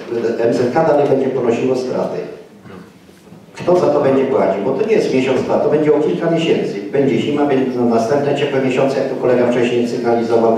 Kto pokryje te straty? Bo ja czegoś nie rozumiem. Jeżeli się precyzuje w umowie, jeżeli się podpisuje umowę, to wcześniej w umowie mamy zaznaczone. Tak było podobnie z ulicą Halera, gdzie kilka milionów zostało podarowane. Nie wiem jakim cudem, jak do tego doszło, gdzie te pieniądze poszły. Miała być hala sportowa, za te pieniądze wybudowane nie zostało nic. Dziękuję. Panie prezydencie, proszę. Panie przewodniczący, może mogło się przyjść rzeczywiście. Ja poproszę pana wiceprezydenta Sikory o y, odpowiedź, jak jest skonstruowana umowa, jeżeli chodzi o wykonawcę, chociaż ja tu dzisiaj już powiedziałem panu, Panie radny, ja na to częściowo odpowiedziałem, że w umowie nie da się wszystkiego przewidzieć, nie da się przewidzieć y, rozmiarów instalacji mediów podziemnych, które nie były od kilkudziesięciu lat przeglądane, nie da się przewidzieć niewybuchów, które są pod ziemią na regionów, nie da się przewidzieć reliktów archeologicznych, które trzeba zbadać, X rzeczy się nie da przewidzieć w żadnej umowie, ale poproszę tutaj y, nadzorującego w moim imieniu pana Sikora. Żeby być precyzyjnym, panie prezydencie, pozwolę ulicy Halera wrócić. Panie radny, 400 tysięcy to korekta finansowa do Urzędu Marszałkowskiego, nie parę milionów. Te 400 tysięcy wróciło czterokrotnie zwiększone do nas na poszerzenie dwóch pasów ulicy Warszawskiej, czyli również drogi wojewódzkiej nr 534 z Grudziądza do Dępina. To są te same pieniądze, bo pan sekretarz, gdzie one się podziały? Daliśmy 400 w zamian, otrzymaliśmy 1 600 na tą samą drogę, aby wyczyścić resztówki z tego priorytetu na drogi wojewódzkie. W przypadku torowiska, panie radny, no pan jest chyba mieli pojęcia, inwestorem jest miasto. Inwestor nie powiedział, że wydłuża parę miesięcy wykonania inwestycji, więc inwestor, czyli miasto, gmina miasto też nie może samo sobie karę płacić. Dziękuję bardzo. Jeżeli nie ma pytań, przystępujemy. Kto z Państwa radnych za przyjęciem projektu uchwały?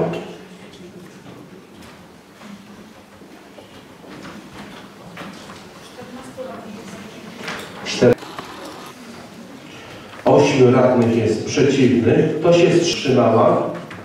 Uchwała została podjęta. Dziękuję Państwu.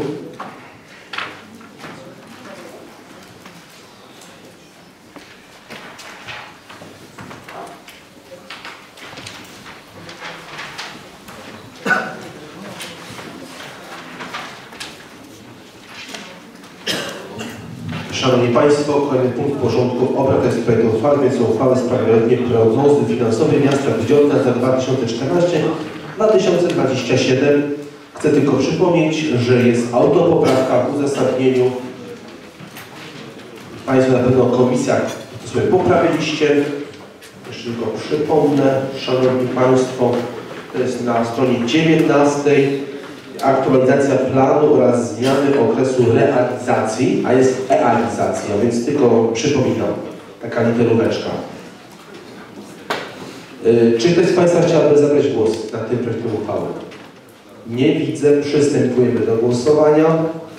Kto z Państwa radnych jest za przyjęciem projektu uchwały?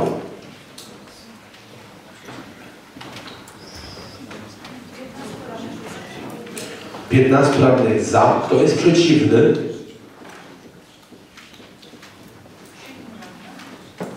Siedmiu radnych jest przeciwnych.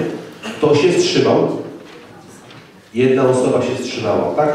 Czyli jest 23 radnych. Uchwała została podjęta. Dziękuję bardzo.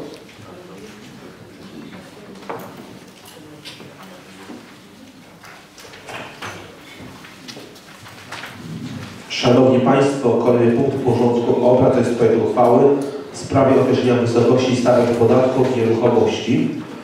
Czy ktoś z Państwa chciał zabrać głos? Bardzo proszę Pan Wiceprzewodniczący Marek Czernek. Panie Prezydencie, Szanowni Państwo, na komisjach wspólnych y, sygnalizowałem, że robimy dla mieszkańców Grudziądza y, bardzo zły prezent. Podnosimy stawki podatku od nieruchomości. Dla kogo? Dla, dla ludzi, którzy prowadzą działalność gospodarczą oraz dla ludzi, organizacji z y, działalności pożytku publicznego od metra kwadratowego, w tym przypadku drugim 3 grosze, natomiast dla tych, co prowadzą działalność gospodarczą 9 groszy. Tłumaczono mi, że to jest bardzo mała kwota i tak dalej, i tak dalej, że tak samo byśmy zwalniali obiekty wysoko yy, te markety, które mają ponad 2000 m2 powierzchni użytkowej. Tak sobie pomyślałem, że tą uchwałę można by podzielić na, na podmioty takie, które są o powierzchni wysoko, wysokometrowej, czyli ponad jakieś 1000 m2 oraz dla, dla, dla innej grupy. Dlaczego tak mówię? Ponieważ y, podatek od nieruchomości jest y, jednym z nośników, na który mamy wpływ, na które Rada Miasta ustala y, po prostu stawkę. I teraz dajemy dla wszystkich przedsiębiorców budżetu, których jest bardzo mało, bo wskaźniki statystyczne mówią nam, że w Grudziądzu jest bardzo, bardzo mało osób, które zdecydowały się prowadzić gospodarkę y, na swój rachunek lub zatrudniając inne osoby. Jest to tak mały wskaźnik, że jest prawie że najniższy w naszym województwie kujawsko-pomorskim. Czyli wnioski, które należy wyciągać, były takie, że należy, należy te osoby wspomagać, żeby, żeby, te, żeby odważyli się prowadzić działalność gospodarczą, a nie żeby zamykano tą działalność i tak dalej. I miasto, y, moim zdaniem, zamiast wspomagać, to jeszcze utrudnia, dlatego że zwiększa obciążenie dla pracodawców. Prośba moja była taka, żeby wnioskodawca, czyli pan prezydent, który tą uchwałę wniósł na podobrane rady, zmienił to swoje postanowienie i jakby te dwa podmioty zwolnił od tych podwyżek, dlatego że, tak jak mówiłem, e, przedsiębiorca jest e, obarczony różnymi kosztami, nie mamy wpływu na ZUS, nie mamy wpływu na, na te podatki, które oddajemy do Urzędu Skarbowego. A to jest taki jeden z, jeden z podatków, na który miasto ma wpływ i mogłoby zrezygnować chociażby z podwyżek, jeżeli nie zwolnienia na jakiś okres w ogóle y, takich, którzy prowadzą działalność gospodarczą dopłat, żeby to, żeby nastąpił rozkwit. Natomiast niezrozumiałe jest w ogóle obciążanie y, organizacji pożytku publicznego, które działają jako wolontariusze, robią coś dobrego dla miasta, a my jeszcze im zwiększamy koszty. Będę głosował i mój klub będzie głosował przeciwko tej uchwale. Panie Przewodniczący, e, Panie Prezydencie, e, ja również podzielam e, zdanie Pana Wiceprzewodniczącego Marka Czepka. E, Wszyscy mieszkańcy w Grudziądzu sygnalizują, jak bardzo niskie są wynagrodzenia. Kiedy muszą pracować za najniższą krajową. Jak pomóc przedsiębiorcom, żeby mogli odchodzić od najniższych wynagrodzeń, skoro my w mieście wciąż windujemy właśnie takie stawki, coraz to wyższe. W związku z tym dziś chyba już e, nie miejsce, bo pewnie Pan Prezydent nie zmienił tego zdania, jednak oświadczam, że ta uchwała naprawdę nie powinna być podejmowana przez radnych. Dziękuję. E, Trzeba tak, nasze uchwały związane z podatkami od nieruchomości są co roku rewaloryzowane o wskaźnik, jaki jest e, u ministra finansów. W tym roku ten wskaźnik wynosi 0,4%. W 10 pozycjach, które są wymienione w uchwale, e, rewaloryzacja dotyczy 5. Pozostałe są na, staw, na stawce zerowej. My w Grudziądzu mamy w górnej granicy stawek, jakie są określone ustawą, nasze stawki są 95% i nie zmieniają się od wielu lat. Nie zmieniają się od wielu lat. Panie radny Czepek, panie Czepek, wiceprzewodniczący rady, nie można uchwały dzielić na przedsiębiorców do iluś metrów kwadratowych i powyżej iluś metrów. Byłaby niezgodna z prawem. Uchwała podatku od nieruchomości jest kierowana do wszystkich przedsiębiorstwów e, traktowanych równo i jednocześnie. Jeżeli chodzi o ułatwienia czy ulgi, to każda sprawa przedsiębiorcy jest traktowana indywidualnie. Oprócz tego Wysoka Rada uchwaliła uchwały Rady Miasta kierowane do przedsiębiorców, gdzie z tytułu uchwały ulgi. Albo inwestują, albo zwiększają zatrudnienie. Są to uchwały kierunkowe Wysokiej Rady. Prezydent jako organ udziela zwolnień podatku od nieruchomości w wyjątkowych wypadkach. W wyjątkowych, przeważnie w związku z jakimiś nieszczęściami, czyli nies, niespodziewanymi zdarzeniami, katastrofy budowlanej, zawaliło się, spaliło, oby tego nie było, albo w przypadkach takich, gdzie nasza inwestycja, jak na przykład zbóż regionu, regionu utrudnia prowadzenie działalności gospodarczej. Wtedy właściciel występuje, właściciel występuje, uzasadnia, odraczamy i ewentualny drugi wniosek o umorzenie, uzasadniając to. Każdy przypadek jest indywidualny. U nas w tym y, projekcie uchwały są minimalne wzrosty o kilka groszy za metr kwadratowy i to jest realizacja polityki naszego miasta od wielu lat. 95% górnej granicy, y, jakie określa minister finansów, to jest właśnie u nas. I co roku rewaloryzujemy te stawki właśnie o ten wskaźnik. Ani pół procenta więcej. y, przeanalizuję y, to, że żyjemy w Grudziądzu i sytuacja jaka jest y, w naszym mieście, wszyscy wiemy, że jest y, bardzo źle. Wiemy ile kosztuje stworzenie jednego miejsca pracy, bo Urząd Pracy realizując y, takie y, projekty y, musi wydać ponad 20 tysięcy złotych, żeby stworzyć stanowisko pracy, które ma trwać dwa lata i później wskaźnik ten tych, którzy jakby trzymają dalej, dalej prowadzą tą działalność gospodarczą jest bardzo niski. Myślę, że, że należałoby w jakiś sposób wspomóc i teraz Pan Prezydent mówi, że ta, ten podatek musi być y, tak wysoki, ponieważ nie można rozgraniczyć y, podatku dla wysokogabarytowych y, sklepów, marketów w stosunku do takiego, który ma jednoosobową działalność gospodarczą. To w jaki sposób urząd będzie wspomagał tych, którzy mają jednoosobowy, jednoosobową, jednoosobowy zakład pracy lub taki, który zatrudnia kilku pracowników. Bo należałoby jakby to w nóżka y, opieki. Panie Przewodniczący, Wysoka Rado, Panie Wiceprzewodniczący Czernek, ja przed chwilą powiedziałem, w jaki sposób to chcemy zrobić. Jeżeli ktoś chce zwiększyć zatrudnienie, to Wysoka Rada, i to nawet to, co mamy dzisiaj październik, wydaje mi się, że we wrześniu podjęła uchwałę o pomocy de minimis, gdzie jest między innymi mikroprzedsiębiorca określony. Kto to jest mikroprzedsiębiorca? To jest przedsiębiorca do, bodajże do pięciu osób zatrudniający, do, do dziewięciu osób zatrudniający. I on może otrzymać dopłatę, jeżeli zgłosi, zgłosi wcześniej, że chce rozwinąć swoje, swoją firmę. Jest to ustawowe, czyli tu Wysoka Rada to określiła. Yy, To jest dokładnie. A poza tym powiedziałem przed chwilą, że jeżeli są jakieś inne przypadki, to decyduje indywidualnie w oparciu o jakieś zasady. Te zasady y, indywidualnie rozstrzygam, ale one są związane z różnymi nieszczęściami. Więc my wspieramy przedsiębiorców w sposób systemowy na, na podstawie uchwały podjętej przez Radę Miasta. Jeszcze Pani. Przedsiębiorcy, e, którzy prowadzą jednoosobową działalność, bardzo często Panu sygnalizowali, że niepodnoszenie stawek jest również dla nich e, bardzo dużą pomocą.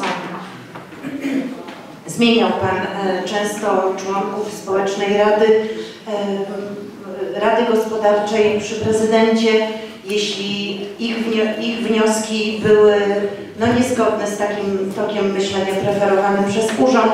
W związku z tym dzisiaj e, to podstawowe, e, właściwie podstawowa ich prośba znów zostaje niespełniona. A już e, naprawdę trudno chyba komukolwiek zrozumieć, jak można wymagać od organizacji pożytku pu- publicznego, ażeby wprowadzali opłaty. Przepraszam, kto w tym mieście jest dla kogo? Przecież oni tworzą również Pana wizerunek. Często realizują wiele zadań, organizują bardzo dużo imprez po to, żeby w tym mieście coś się działo. Oni naprawdę nie mają pieniędzy z własnych składek, żeby jeszcze płacić e, po prostu e, coraz to wyższe sk- składki, opodatkowanie. Przepraszam, ale, ale chociaż na koniec kadencji mógłby Pan tego oszczędzić ludziom. Panie Przewodniczący, Wysoka Rado, Szanowna Pani Wiceprzewodnicząca, e, jeżeli prowadzi nawet e, przedsiębiorca jednoosobowy działalność gospodarczą i ma 100 metrów kwadratowych tej działalności powierzchni, na której prowadzi, to rocznie ma podwyżkę 9 zł. 9 zł przy 100 metrach na rok. Nie sądzę, aby 9 zł na rok wpływało na wynik finansowy przedsiębiorcy. Drugi temat, tak oczywiście minus podatek. Drugi temat, organizacje pożytku publicznego, ale Pani Rada nie to czytała. Organizacje pożytku publicznego prowadzą tylko opłaty, te, które prowadzą działalność gospodarczą. Te, które mają działalność gospodarczą i wykazują wynik finansowy, które zarabiają i mają dochód. Te, które nie mają działalności gospodarczej i nie zarabiają, nie mają dochodu, nie płacą tego. To dotyczy tylko organizacji użytku publicznego czy organizacji, które zarabiają i prowadzą działalność gospodarczą, tak jak inne podmioty gospodarcze. Dziękuję Pan Radny. Szyszka Pan. W tym rynku dzisiaj traci pracę. Tracą zakłady pracy z powodu podatków, z powodu wysokich kosztów ubezpieczeń, zatrudnienia ludzi itd. I na dzień dzisiejszy mamy przekonanie, że wiele tych firm dalej będzie zamykanych. I ja uważam, jestem przekonany, że nie powinniśmy, bynajmniej Pan Prezydent nie powinien tej uchwały wnosić dzisiaj, aby tych ludzi dalej krzywdzić. I będę głosował przeciwko tej uchwale. Dziękuję. Dziękuję Pan Radny ja bardzo się cieszę, że Pan Radny Marek Czepek i Pani Radna Maria Sokołowska tak w dość ostrych słowach występują w obronie przedsiębiorców grudziąckich, ale gdyby kiedykolwiek mieli okazję prowadzić biznes, wiedzieliby o tym, że ten wynik, te dodatkowe 9 czy kilkanaście złotych, czy nawet kilkadziesiąt złotych w skali roku naprawdę nie ma żadnego przełożenia na wynik finansowy firmy i na to, czy pracodawca stworzy kolejne miejsce pracy, czy nie stworzy. E, Ja jako przedsiębiorca mogę powiedzieć tyle, że korzystałem wielokrotnie z różnych rozwiązań po to, aby stworzyć kolejne miejsca pracy i to są kwoty sięgające kilkudziesięciu czy kilkuset tysięcy złotych, które można pozyskać. I dzięki temu udało mi się stworzyć wiele miejsc pracy. Ten podatek naprawdę nie jest na tyle uciążliwy nie jest to rzecz taka, która kogokolwiek może doprowadzić do tego, żeby zlikwidował jakieś miejsce pracy, żeby tutaj kopię to ruszyć. Natomiast rozwiązania systemowe, o których wspominał Pan Prezydent, pozwalają na to, żeby rozwijać swoje firmy, żeby tworzyć kolejne miejsca pracy.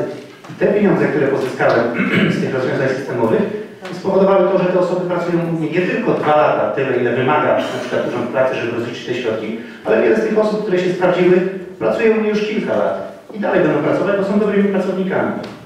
Dziękuję bardzo. Pan Radny i tak dalej, bo faktycznie tak jak pan radny Kapustka mówi, poziom, chociaż dla dużych firm, dla wielkich firm z dużą ilością metrów kwadratowych, to każda złotówka jest ważna.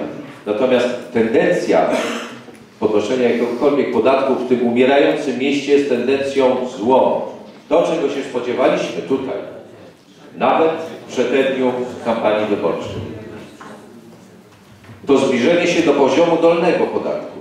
I tego oczekują dzisiaj przedsiębiorcy w Gruziądzu, tego oczekują handlowcy, oczekują minimalnych stawek podatkowych. Minimalnych stawek podatkowych od pana prezydenta. W sytuacji, kiedy sklep po sklepie jest zamykany, w sytuacji, kiedy zamykają się przedsiębiorstwa, w sytuacji, kiedy ludzie wyrejestrowują działalność gospodarczą, kiedy podmioty powstają tylko na rok, żeby wykorzystać dotacje, potrzebne są minimalne podatki. I każdy grosz, Szanowni Państwo, każdy grosz jest istotny i na pewno nie jest to zielone światło dla przedsiębiorców. Każda uchwała podnosząca podatki w mieście Grudziądzu nie jest dobra dla lokalnego przedsiębiorcy, nie jest dobra. No niestety, tak to wygląda. Tendencja, Panie Prezydencie, jest bardzo zła, myślę, że oczekiwania są inne i ten temat prawdopodobnie będzie zweryfikowany 16 listopada. Dziękuję bardzo. Dziękuję. Panie Przewodniczący, Panie Prezydencie, Wysoka Rado. Nie wiem, czy mój kalkulator się myli, ale w, w podatku 9 groszy na metrze kwadratowym od powierzchni 200 metrów kwadratowych to wychodzi miesięcznie 18 zł. Także dlaczego Rocznie. Czy ten, ten podatek jest płacony w skali miesięcznej? Czy... No, no to przepraszam. Ale, ale wychodzi 18 zł, jak Pan mówi, tam 2 3 Ja mówię o cenie od 200 metrach. Panie Przewodniczący, stawki dotyczą rok do jeżeli prawny trzeba tego 19%. No dobrze, czyli od 100 metrów wychodzi 9 zł. Rocznie. To, to, to jedna sprawa. A druga sprawa, e, bardzo ładnie w imieniu przedsiębiorców wypowiedział się Pan Przewodniczący Kapusta, ale chciałem Panu Przewodniczącemu powiedzieć, jeżeli ma, jeżeli Pan ma takie, e, takie szczęście, że Panu się tak udaje, to bardzo proszę mm, stworzyć jakieś, jakieś forum, gdzie będzie Pan pomagał przedsiębiorcom, ponieważ sytuacja wygląda wręcz odwrotnie. A my musimy tutaj nie patrzeć na tych, którym się udało. Chwała Panu, że Panu się udało, ale bardzo wielu ludzi zamyka swoją działalność gospodarczą, a my musimy patrzeć chyba na tych, którzy zamykają, jak im pomóc, jak im wspomóc, jak ich pomóc. A to jest jedno z narzędzi, gdzie możemy im wspomóc i pomóc. Natomiast jak oni się dowiedzą, że Rada Miasta powiększa im tutaj stawkę podatków, no to jest bardzo zły, bardzo zły impuls, który pójdzie do przedsiębiorców. Bardzo zły impuls, który pójdzie do mieszkańców naszego miasta. I w tym względzie uważam, że no, robicie sobie strzał w przed wyborami. Dziękuję. Panie prezesie, bardzo proszę. Panie Przewodniczący, Panie Prezydencie, może, e, może to jest tylko 9 zł, ale 9 zł dla, jed, dla jednych mało, dla innych więcej. Ale jeśli do tych 9 zł dołożymy jeszcze to, ile prezydent powinien zwrócić za zawyżoną stawkę za wywóz śmieci, no nie, nikt, wszyscy są zwolnieni, prawda? E, Ja myślę, e, przepraszam bardzo, panie przewodniczący, pan skarbnik zatupie, zakrzyczy nas za chwilę i ja jestem na to przygotowana. A panu kapuście gratuluję, tylko proszę zrozumieć tych, którzy nie należą do partii i nie ścieli im się, tak jak pan.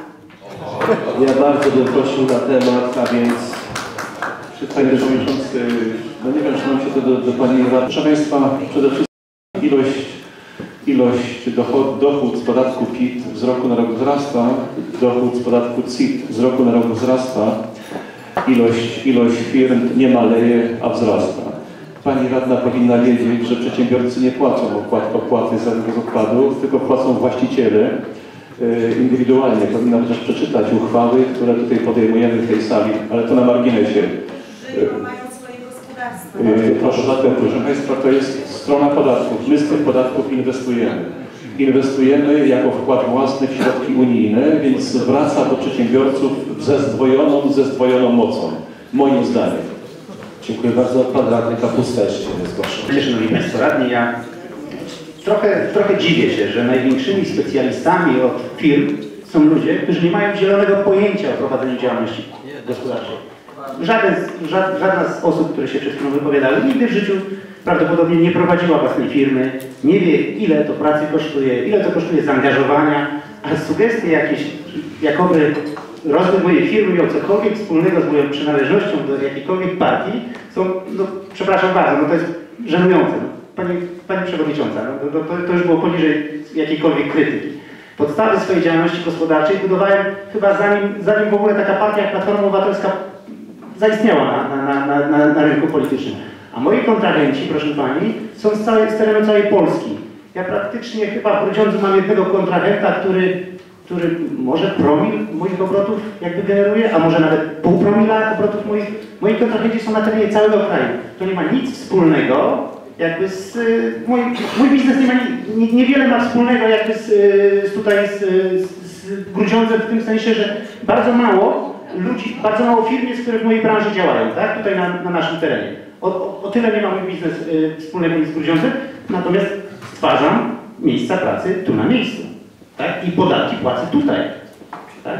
I proszę mi nie insynuować, że cokolwiek ma to wspólnego z jakąś, jakąkolwiek działalnością partyjną. Dobrze, dziękuję. Proszę teraz tylko na temat tej uchwały, tak? Panie Przewodniczący, Wysoka Rado, Panie Prezydencie. Chciałem się zwrócić do Pana Przewodniczącego Kapusty, który w tej chwili nas obraził, szczególnie mnie. Chciałem powiedzieć Panie Przewodniczący, że prowadziłem działalność gospodarczą i dokładnie wiem o obciążeniach pracodawcy i wiem o czym mówię. Dziękuję. Proszę bardzo, Pani Sokołowska. E, Panie Radny Kapustę, ja powiem tak. E, Przede wszystkim e, mógł Pan mnie obrazić, ale obraził Pan też tych, z którymi współpracuję od 98 roku, kiedy zaczynali protesty na giełdzie, bo już byli prezydenci, którzy właśnie w taki sposób działali. A ludzie pewnych rzeczy nie mogą udźwignąć. I tu chodzi o tendencję, nie o coś innego. A y, przecież Mówiąc to, może bardzo nerwowo powiedziałam o pewnych preferencjach, ale niestety tak jest, że jak ktoś przychodzi po prostu z właściwej opcji, to chętnie mu się też pomaga.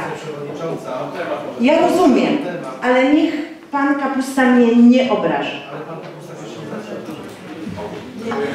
Szanowni Państwo, jesteśmy tylko przy temacie stawek. Bardzo proszę wszelkie inne wycieczki. Bardzo proszę Pana Tomaszek. Wysoka Rado, e, Panie Przewodniczący, Panie Prezydencie. Jedno pytanie i jedna taka sugestia.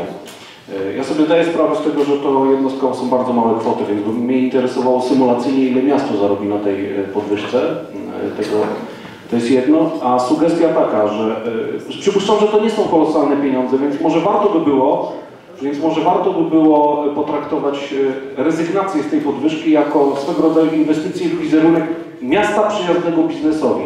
No od długiego czasu próbujemy tutaj ściągnąć biznes, mamy z tym ogromny problem. Myślę, że byłby to taki fajny sygnał, że to miasto sprzyja biznesowi. Bardzo proszę, pan prezydent. Szanowny panie radny, miasto sprzyja biznesowi. Nasze podatki powodują to, że na przykład podatku od środków transportowych prawie zdecydowana większość pojazdów, które są spoza Grudziądza jest rejestrowanych w. To na przykład. Y, Chcę też panu powiedzieć, pan to z całą pewnością zrozumie, że jeżeli my jako Rada Miasta podejmiemy uchwałę, że nasz podatek, podatek od nieruchomości jest 95% stawki, czyli sami własnymi decyzjami te 5% rezygnujemy, to druga taka kwota jest tam pomniejszana z subwencji wyrównawczej. Czyli podwójnie zmniejszamy dochody do budżetu miasta. Myśmy wiele lat temu przyjęli zasadę, tu jeszcze w poprzedniej Radzie, w poprzedniej kadencji Rady Miasta, że będziemy rewaloryzować stawki w podatkach o kwoty, o różnicę, jaką minister nam narzuca, po to, żeby za jakiś czas nie było gwałtownych skoków.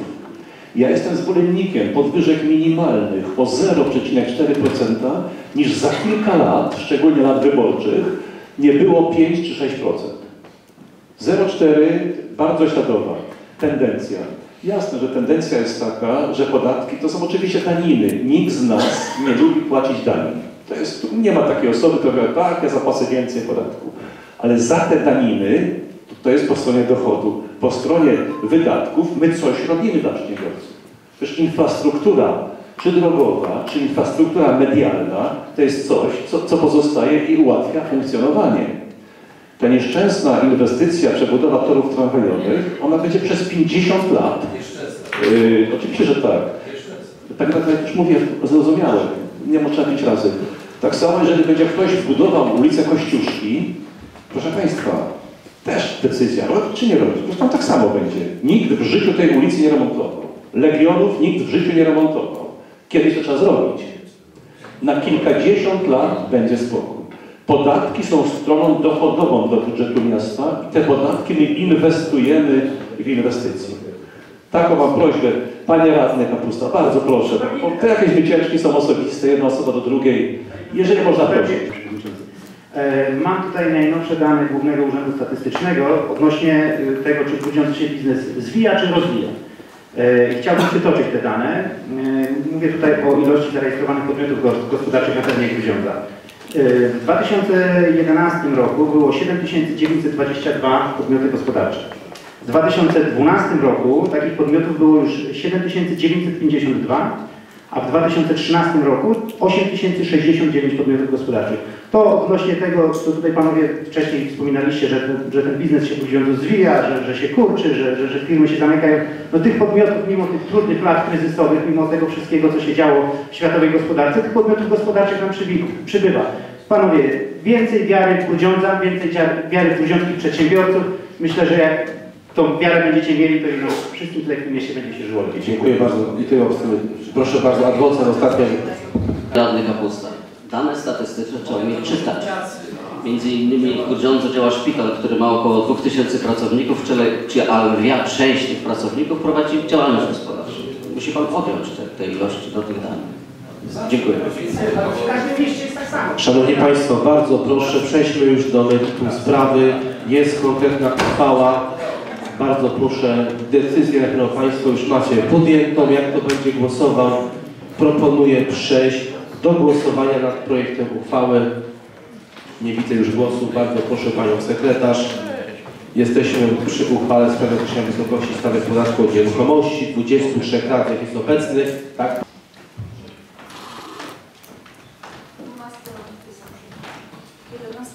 Przeciwnych, brak głosów wstrzymujących. Uchwała została podjęta. Państwo, jeżeli coś do mikrofonu, to bardzo proszę się zgłosić. I Szanowni Państwo, przechodzimy do kolejnego punktu porządku obrad. To jest projekt uchwały w sprawie ustalenia maksymalnej wysokości kredytu krótkoterminowego zaciąganego przez prezydenta Grudziądza na pokrycie występującego w ciągu 2015 roku przejściowego deficytu budżetu miasta Grudziądza. Czy ktoś z Państwa chciałby zabrać głos? Pan radny Tomaszek, proszę. Tę uchwałę razem z uchwałą budżetową, ale być może coś źle pamiętam. Pytanie, dlaczego z wyprzedzeniem? Panie prezydencie. Y, Nie, uchwała budżetowa na 15 jeszcze nie była podjęta, panie radny, dopiero będzie analizowana. To, to jest takie, ponieważ nie ma, nie ma, y, y, to jest na 2015 rok i w 2015 roku się kończy. Uchwały takie, które ja podejmuję mocą, mocą państwa uchwały są tylko w ciągu roku i na pokrycie występującego, w razie czego przejściowego deficytu. Dobrze. Dziękuję Pan Radny Kosiński. To Proszę. na rok przyszły właśnie dzisiaj, przed końcem kadencji. Dlaczego w tym momencie? Czy mógłby Pan uzasadnić to bardziej? Bo Panie prezydencie, proszę. Szanowni Państwo, nie chciałbym tu nikogo zatupać, ale jak opowiadam to chyba od trzech lat, e, to jest kredyt, a kredyt jest zaciągany w trybie postępowania e, w prawie zamówień publicznych i do przetargu o najwyższych szykanach, czyli 40-dniowy okres wyczekiwania. Rzeczywiście standardowo e, zawiera się takie zapisy upoważnienie w uchwale budżetowej, ale no po prostu, ale problem polega na tym, że uchwała budżetowa podejmowana będzie w tym roku najprawdopodobniej w styczniu. A no właśnie, e, no to, ale to nie jest pierwszy raz odpowiedź na pytanie, jakbyście Państwo, no ja rozumiem, raz w roku, no to jest problem, tak, można wszystkim nie zapamiętać. A czy ja nie wiem, czy będzie w styczniu, bo to zależy od tego, jak szybko konstytuuje się nowa rada, no wiele rzeczy zależy, tak? Ale 40-dniowy okres wyczekiwania, tak prosto licząc, gdyby w styczniu, to ten kredyt będzie dostęp, byłby dostępny gdzieś powiedzmy w marcu. A może się jednak do marca trochę różnych rzeczy zdarzyć, bo się kończą rozliczenia dużych inwestycji miasta i miasto musi być zabezpieczone. Jeszcze raz tylko chciałbym przypomnieć, ten kredyt ma charakter rock linii, tak? Taki, takiego rewolwerowego kredytu, który się zaciąga tylko i wyłącznie wtedy, kiedy miasto przejściowo po strumieniu dochodów wydatków w trakcie roku one się tak nie korelują. Zupełnie jak Państwo wiecie, no to trzeba mieć zabezpieczenie, to niego się, to go się nie zaciąga a priori z góry, tylko wtedy, kiedy jest potrzeba, tak? Czyli to, taki, taki instrument zabezpieczający płynność budżetu standardowym instrumentem posiadającym wszystkie samorządy, przewidziany jest ustawą, bo inaczej być nie może. No i po prostu kwestia e, dość długich procedur, które e, związane są z jego e, do podpisania. Dziękuję. Dziękuję Panie Skarbniku. Czy ktoś jeszcze z Państwa? Mamy się za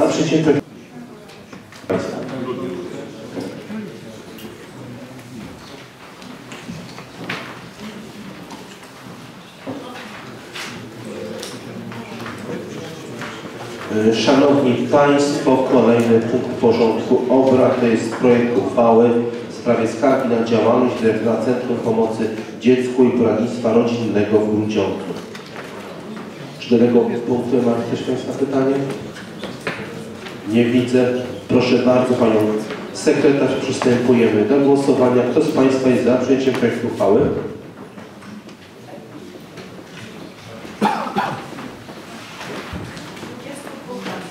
Dwudziestu dwóch radnych. Kto jest przeciwny? Nie ma. Kto się wstrzymał? Jedna osoba. Dziękuję. Uchwała została podjęta. Dziękuję Państwu.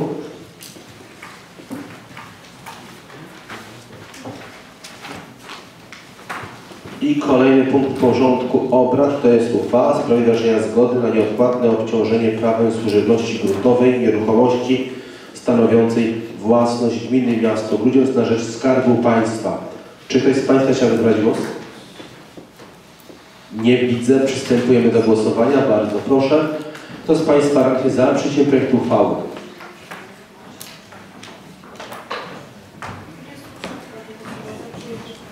Dwudziestu trzech radnych głosowało za przyjęciem projektu uchwały. Uchwała została podjęta jednogłośnie. Dziękuję.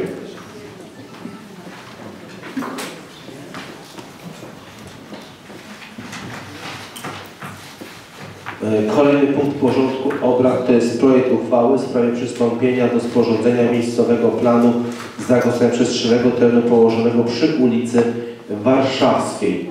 Czy ktoś z Państwa chciałby zabrać głos nad tym punktem? Nie widzę. Przystępujemy do głosowania. Kto z Państwa radnych za przyjęciem projektu uchwały?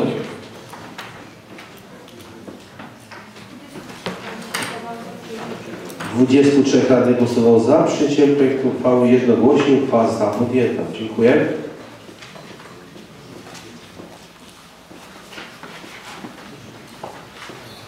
I Szanowni Państwo, kolejny punkt porządku obrad to jest projekt uchwały w sprawie programu współpracy gminy miasto, gminy miasto z organizacjami pozarządowymi i innymi podmiotami prowadzącymi działalność pożytku publicznego na rok 2000, na 2015 rok. Czy ktoś z Państwa chciał zabrać głos? Nie widzę. Przystępujemy do głosowania. Bardzo proszę. Panią sekretarz, kto z Państwa jest za wrześniem projekt uchwały?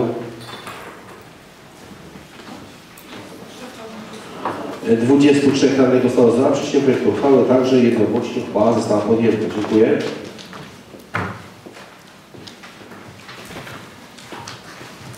I Szanowni Państwo, kolejny punkt porządku obrad to jest projekt uchwały sprawie określenia szczegółowego sposobu konsultowania z Miejską Radą Działalności Pożytku Publicznego w Grudziądzu lub organizacjami pozarządowymi i podmiotami, o których mowa w artykule 3 ust.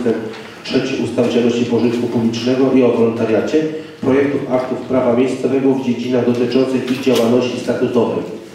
Czy ktoś z Państwa chciałby zabrać głos? Nie widzę. Bardzo proszę Panią Sekretarz. Przystępujemy do głosowania. Kto z Państwa jest za przyjęciem projektu uchwały?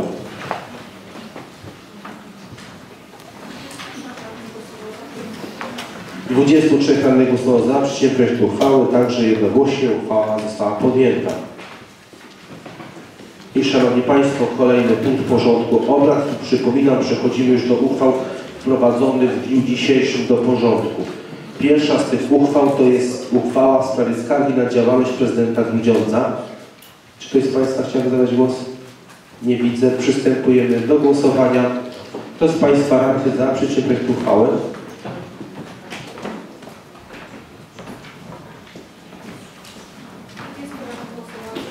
Dwudziestu radnych głosowało za. Kto jest przeciwny? Brak głosów przeciwnych. Kto się wstrzymał? Trzech radnych się wstrzymało. Uchwała została podjęta.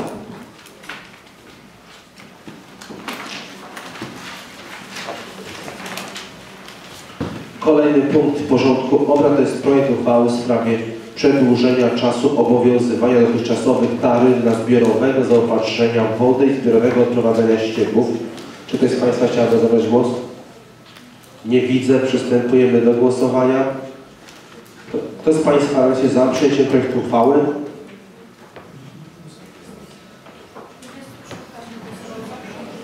Dwudziestu trzech radnych głosowało za przyjęciem projektu uchwały.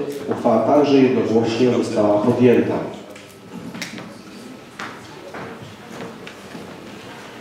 I Szanowni Państwo, kolejny punkt porządku obrad to jest projekt uchwały w sprawie nadania nazwy skrzyżowania dróg okrężnych na terenie miasta Grudziądza Rondo Ireny Sendlerowej. Czy ktoś z Państwa chciałby zabrać głos? Nie widzę. Przystępujemy do głosowania. Kto z Państwa jest za przyjęciem projektu uchwały?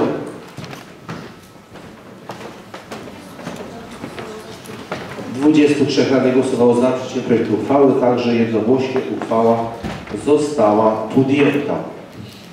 I Szanowni Państwo, przechodzimy do kolejnego projektu uchwały. To jest projekt uchwały w sprawie nadania nazwy skrzyżowaniu dróg okrężnym w terenie miasta Grudziądza, rondo Jana Balcera. Y, W trakcie sesji Państwo otrzymaliście y, autopoprawkę. Czy ktoś chciał zabrać głos? Pan Radny Milianowski, bardzo proszę. To uhonorujemy jednego ze znamienitych lotników polskich, wspaniałego grudziądzanina, y, wspaniałego lotnika i honorowego człowieka. Dziękuję bardzo. Dziękuję bardzo. Jeżeli nie ma już Kto z Państwa jest za przyjęciem projektu uchwały? 23 radnych głosowało za przyjęciem uchwały. Uchwała została podjęta jednogłośnie i proszę Państwa, to jest ostatnia uchwała tej kadencji. Dziękuję bardzo za podjęcie wszystkich uchwał. Szanowni Państwo, przechodzimy do kolejnego punktu porządku obrad. To są interpelacje. Odpowiedź na interpelację otrzymali następujący radni. Pan radny Grzegorz Wiedzianowski, Pani radna Maria Sokołowska. Czy ktoś nie ma tych uwag? Też nie ma uwag. Dobrze. Czy ktoś w dniu dzisiejszym chciałby złożyć interpelację? Pan radny Kosiński, proszę bardzo. Prosił pan, prezydent przygotował mi na piśmie odpowiedź e, co stanowią części składowe tej kwoty, w jakiej wysokości są części składowe. Mówimy tutaj o spłacie kupionych nowych autobusów, mówimy o waloryzacji, mówimy o komunikacji zastępczej, bo do chwili obecnej mam wątpliwości, bo nie wiem, czy komunikacją zastępczą, czy taki wzrost nastąpił z tego względu, że wozimy ludzi dzisiaj po całym mieście tramwajami, czy, czy po prostu, z czego wynika ten wzrost, bym prosił o szczegółową odpowiedź i taką interpelację kieruję, już jest taka konieczność, co sporządzę ją na piśmie i prosiłbym, aby jeszcze otrzymał ją w tej kadencji. Dziękuję bardzo. Panie prezydencie, bardzo proszę. Ja bardzo proszę precyzyjnie wiedział, w jaki sposób ono to jest. Sądzę, panie radny, że do końca tygodnia byłby pan w stanie dopiero radny przedłożyć pisemną informację. Nie nawet dzisiaj, super. Dobrze, dziękuję. Pan radny. Radni też interpelacja, która no, nawiązuje do, do wypowiedzi poprzednika, z, czyli komunikacji miejskiej, natomiast dotyczy możliwych oszczędności w tym zakresie. E, interpelacja zmiany kursowania autobusów linii nr 17, 19, 21. Od miesiąca dzięki oddaniu do użytku nowego odcinka ulicy Konstytucji 3 Maja od ulicy Sobieskiego do węzła Konstytucji znacząco skróciła się droga, jaką wiązanie muszą pokonać do autostrady A1. Nowy odcinek drogi skrócił też znacznie drogę do osiedla Miszek, innymi fakt, że kierowcy jadący z kierunku centrum ulicami Kalinkową i Koszczaka wybierają przejazd ulicą Konstytucji zamiast jak dotychczas szosą Toruńską. W relacji osiedle Strzemięcin, Rząd, Mniszek kursują trzy linie autobusowej komunikacji miejskiej, to jest 17, 19 i 21. Zmiana trasy tych linii z ulicy Sobieskiego bezpośrednio od nowy odcinek Konstytucji 3 maja i przez węzeł w przebiegu trasy średnicowej ulicami Magazynową albo Składową oraz Szosą Toruńską skraca odległość do przystanku końcowego o dokładnie 1200 metrów w jedną stronę. W ciągu tygodnia autobusy linii nr 17 wykonują 144 kursy, linii nr 19 326 kursów, zaś 21 182 kursy. Łącznie 652 kursy tygodniowo. Zmiana trasy tych linii oznaczałaby zatem oszczędność niemal 800 km tygodniowo i 40 700 km rocznie. Przeliczając to na koszt kilometra, mówimy o kwocie ponad 260 tysięcy złotych, jakie można zaoszczędzić z tego tytułu. Kolejnym argumentem przemawiającym za zmianą przebiegu linii jest czas. Zarówno czas, jaki zajmuje pasażerom pokonanie trasy do i z Mniszka, narząd y, dookoła szosą toruńską, jak i czas pracy kierowców. Kurs nową trasą oznacza każdorazowo oszczędność rzędu od 7 do 10 minut. Każdorazowo, na każdym kursie. W ciągu roku, uwzględniając wszystkie trzy linie autobusowe, uzyskujemy oszczędność aż 4500 godzin. Dokładnie to jest 187 dni, czyli pół roku. To tak jakbyśmy puścili teraz autobus, który przez pół roku dokładnie, 24 godziny na dobę, kursuje sobie na odcinku e, rząd Mniszek. W związku z powyższym wnioskuję o dokładne przeanalizowanie oraz zmianę przebiegu linii autobusowej komunikacji miejskiej nr 17, 19 i 21 właśnie przez ulicę Konstytucji 3 Maja, oddaną do użytku miesiąc temu. Dziękuję bardzo. Czy jeszcze to jest Państwa interpelacja? Czyli po prostu po interpelacjach może Pan Radny złożyć oświadczenie. Bardzo proszę. Proszę bardzo. Będąc radnym Sojuszu Lewicy Demokratycznej przez okres ostatnich 12 miesięcy, działającym w opozycji, niezrzeszonym w żadnym klubie, w okresie tym popierałem przygotowane tylko te uchwały, które służyły naszym mieszkańcom. Składałem również interpelacje i bardzo dużo zapytań związanych z funkcjonowaniem naszego miasta i jego mieszkańców. Wiele spraw udało się załatwić, a wiele nie, przy braku zrozumienia i polityki oraz przesunięcia na dalsze lata. Na szczególne wyróżnienie w mojej ocenie zasługują Wydział Transportu, Zarząd Dróg Miejskich oraz szczególne podziękowanie pragnę przekazać od 85 członków i własnym organizacji pozarządowej Polskiego Związku Wędkarskiego koła nr 57 dla Pani Dyrektor Miejskiego Ośrodka Rekreacji i Wypoczynku za udostępnienie nam pomieszczenia przy informacji turystycznej do dalszej działalności na rzecz wędkarstwa w naszym mieście. Koło to istnieje 35 lat i w dalszym ciągu się rozwija, pozyskując nowych członków. Dziękuję za uwagę. Poważanie życzę. Dziękuję bardzo Panu Radnemu. E, Szanowni Państwo, przechodzimy do Komisji Budżetu i Polityki Gospodarczej. Jeszcze Pan Przewodniczący, poczekaj, czasowo wyjdziemy, jest planowane na 15.30. Yy, Odpowiedzi na zapytania otrzymali następujący radni oczywiście na piśmie. Pan Marek Czeszek, Pan Krzysztof Kosiński, Pan Grzegorz Niedzianowski, Pani Edyta Ogonowska, Pan Stanisław Szyszka, Pan Antoni Wiśniewski, Pan Daniel Żebrowski. do tych odpowiedzi? Jakieś uwagi Państwo macie? Pan Radny Kosiński, proszę. E, Przypomnę, zapytanie dotyczyło instalacji sygnalizacji ś- świetnych przy przejściu na wysokości szkoły na terenie osiedla Mniszek. E, oczywiście odpowiedź jest taka powiem, mało precyzyjna z tego względu, że nie mówi o realizacji e, tego zadania, o planie, czy zostanie ujęte w budżecie przyszłorocznym. Znaczy, no jest pewna nadzieja, natomiast mówi się o e, zainstalowaniu e, barierek, barierek przy tym przejściu i czy to nastąpi w tym roku? Prosiłbym o odpowiedź, jeżeli można, czy takie barierki powstaną przy tym przejściu, aby zabezpieczyć przejście e, i bezpieczeństwo na tej wysokości przy szkole. Dziękuję bardzo. Na piśmie oczywiście. Pani Rada Gorowska, szybko odpowiedzi. Bardzo zadowolona, a przede wszystkim dlatego, że o zapytania, które po prostu y, miały miejsce na ostatniej sesji zostały one bardzo szybko rozwiązane. W imieniu mieszkańców Grudziądza dziękuję za wystawienie. Przyjeżdżają do Grudziądza, mają już z mostu y, zjazd widoczny na Spichrze, co też parę osób przyjeżdżało, mówi fajnie już jest, wiemy jak dojechać, nie musimy y, kręcić się po mieście, które po prostu ma remont. Będę miała później jeszcze jedno pytanie, ale tak. Dobrze, dziękuję bardzo. E, Jest teraz moment na składanie nowych zapytań. Kto z Państwa? Pani Rada Gorowska, widzę. W Moim, e, otrzymałem oczywiście pisemne odpowiedzi. Z jednej jestem zadowolony, to kwestia ulicy Jeziornej Malczewskiego. Tutaj wszystko jest jasne. E, Natomiast no, trudno mi się odnieść do mm, odpowiedzi, która była zawarta piśmie dotyczącym jednego z lokali przy ulicy Chełmińskiej. Ja nie, nie mam po prostu, no, jakby powiedzieć, od punktu odniesienia, czy 17 zdarzeń w ciągu ostatnich kilku miesięcy przy tym lokalu to jest dużo, czy to jest mało, czy to jest kwestia jakiegoś bezpieczeństwa. Sądzę, że to raczej jest odczucie e, subiektywne mieszkańców okolicy, a nie ilości statystycznych wydarzeń, które miały miejsce wokół tego lokalu, czy na terenie tego lokalu. To jest tylko taka moja mała dygresja. Rozumiem, że to jest ostatnie po- posiedzenie i nie spodziewam się w tym wypadku żadnej odpowiedzi. No trudno tu, tu, tu, w tym momencie tłumaczyć to przy pomocy statystyk, które miałyby, nie wiem, brać pod uwagę ostatnie 2-3 lata. Dziękuję. Dziękuję bardzo. E, Pani Radna Ogonowska, Pani Radna Nowak, Pan Radny Tomaszewski, Pan Radny Szyszka, Pan Radny Wiśniewski, Pan Radny Szymański i chyba na tym etapie to wszyscy radni. Bardzo proszę Pani Radna Ogonowska. Jedno zapytanie, a właściwie prośbę. Nasz park miejski pięknie jest dnia na dzień, powstaje wspaniały plac zabaw. Bywam tam e, osobiście z pateczkami, z dziećmi i widzę, że w ostatnim czasie te urządzenia rekreacyjne bardzo się podobają dzieciom.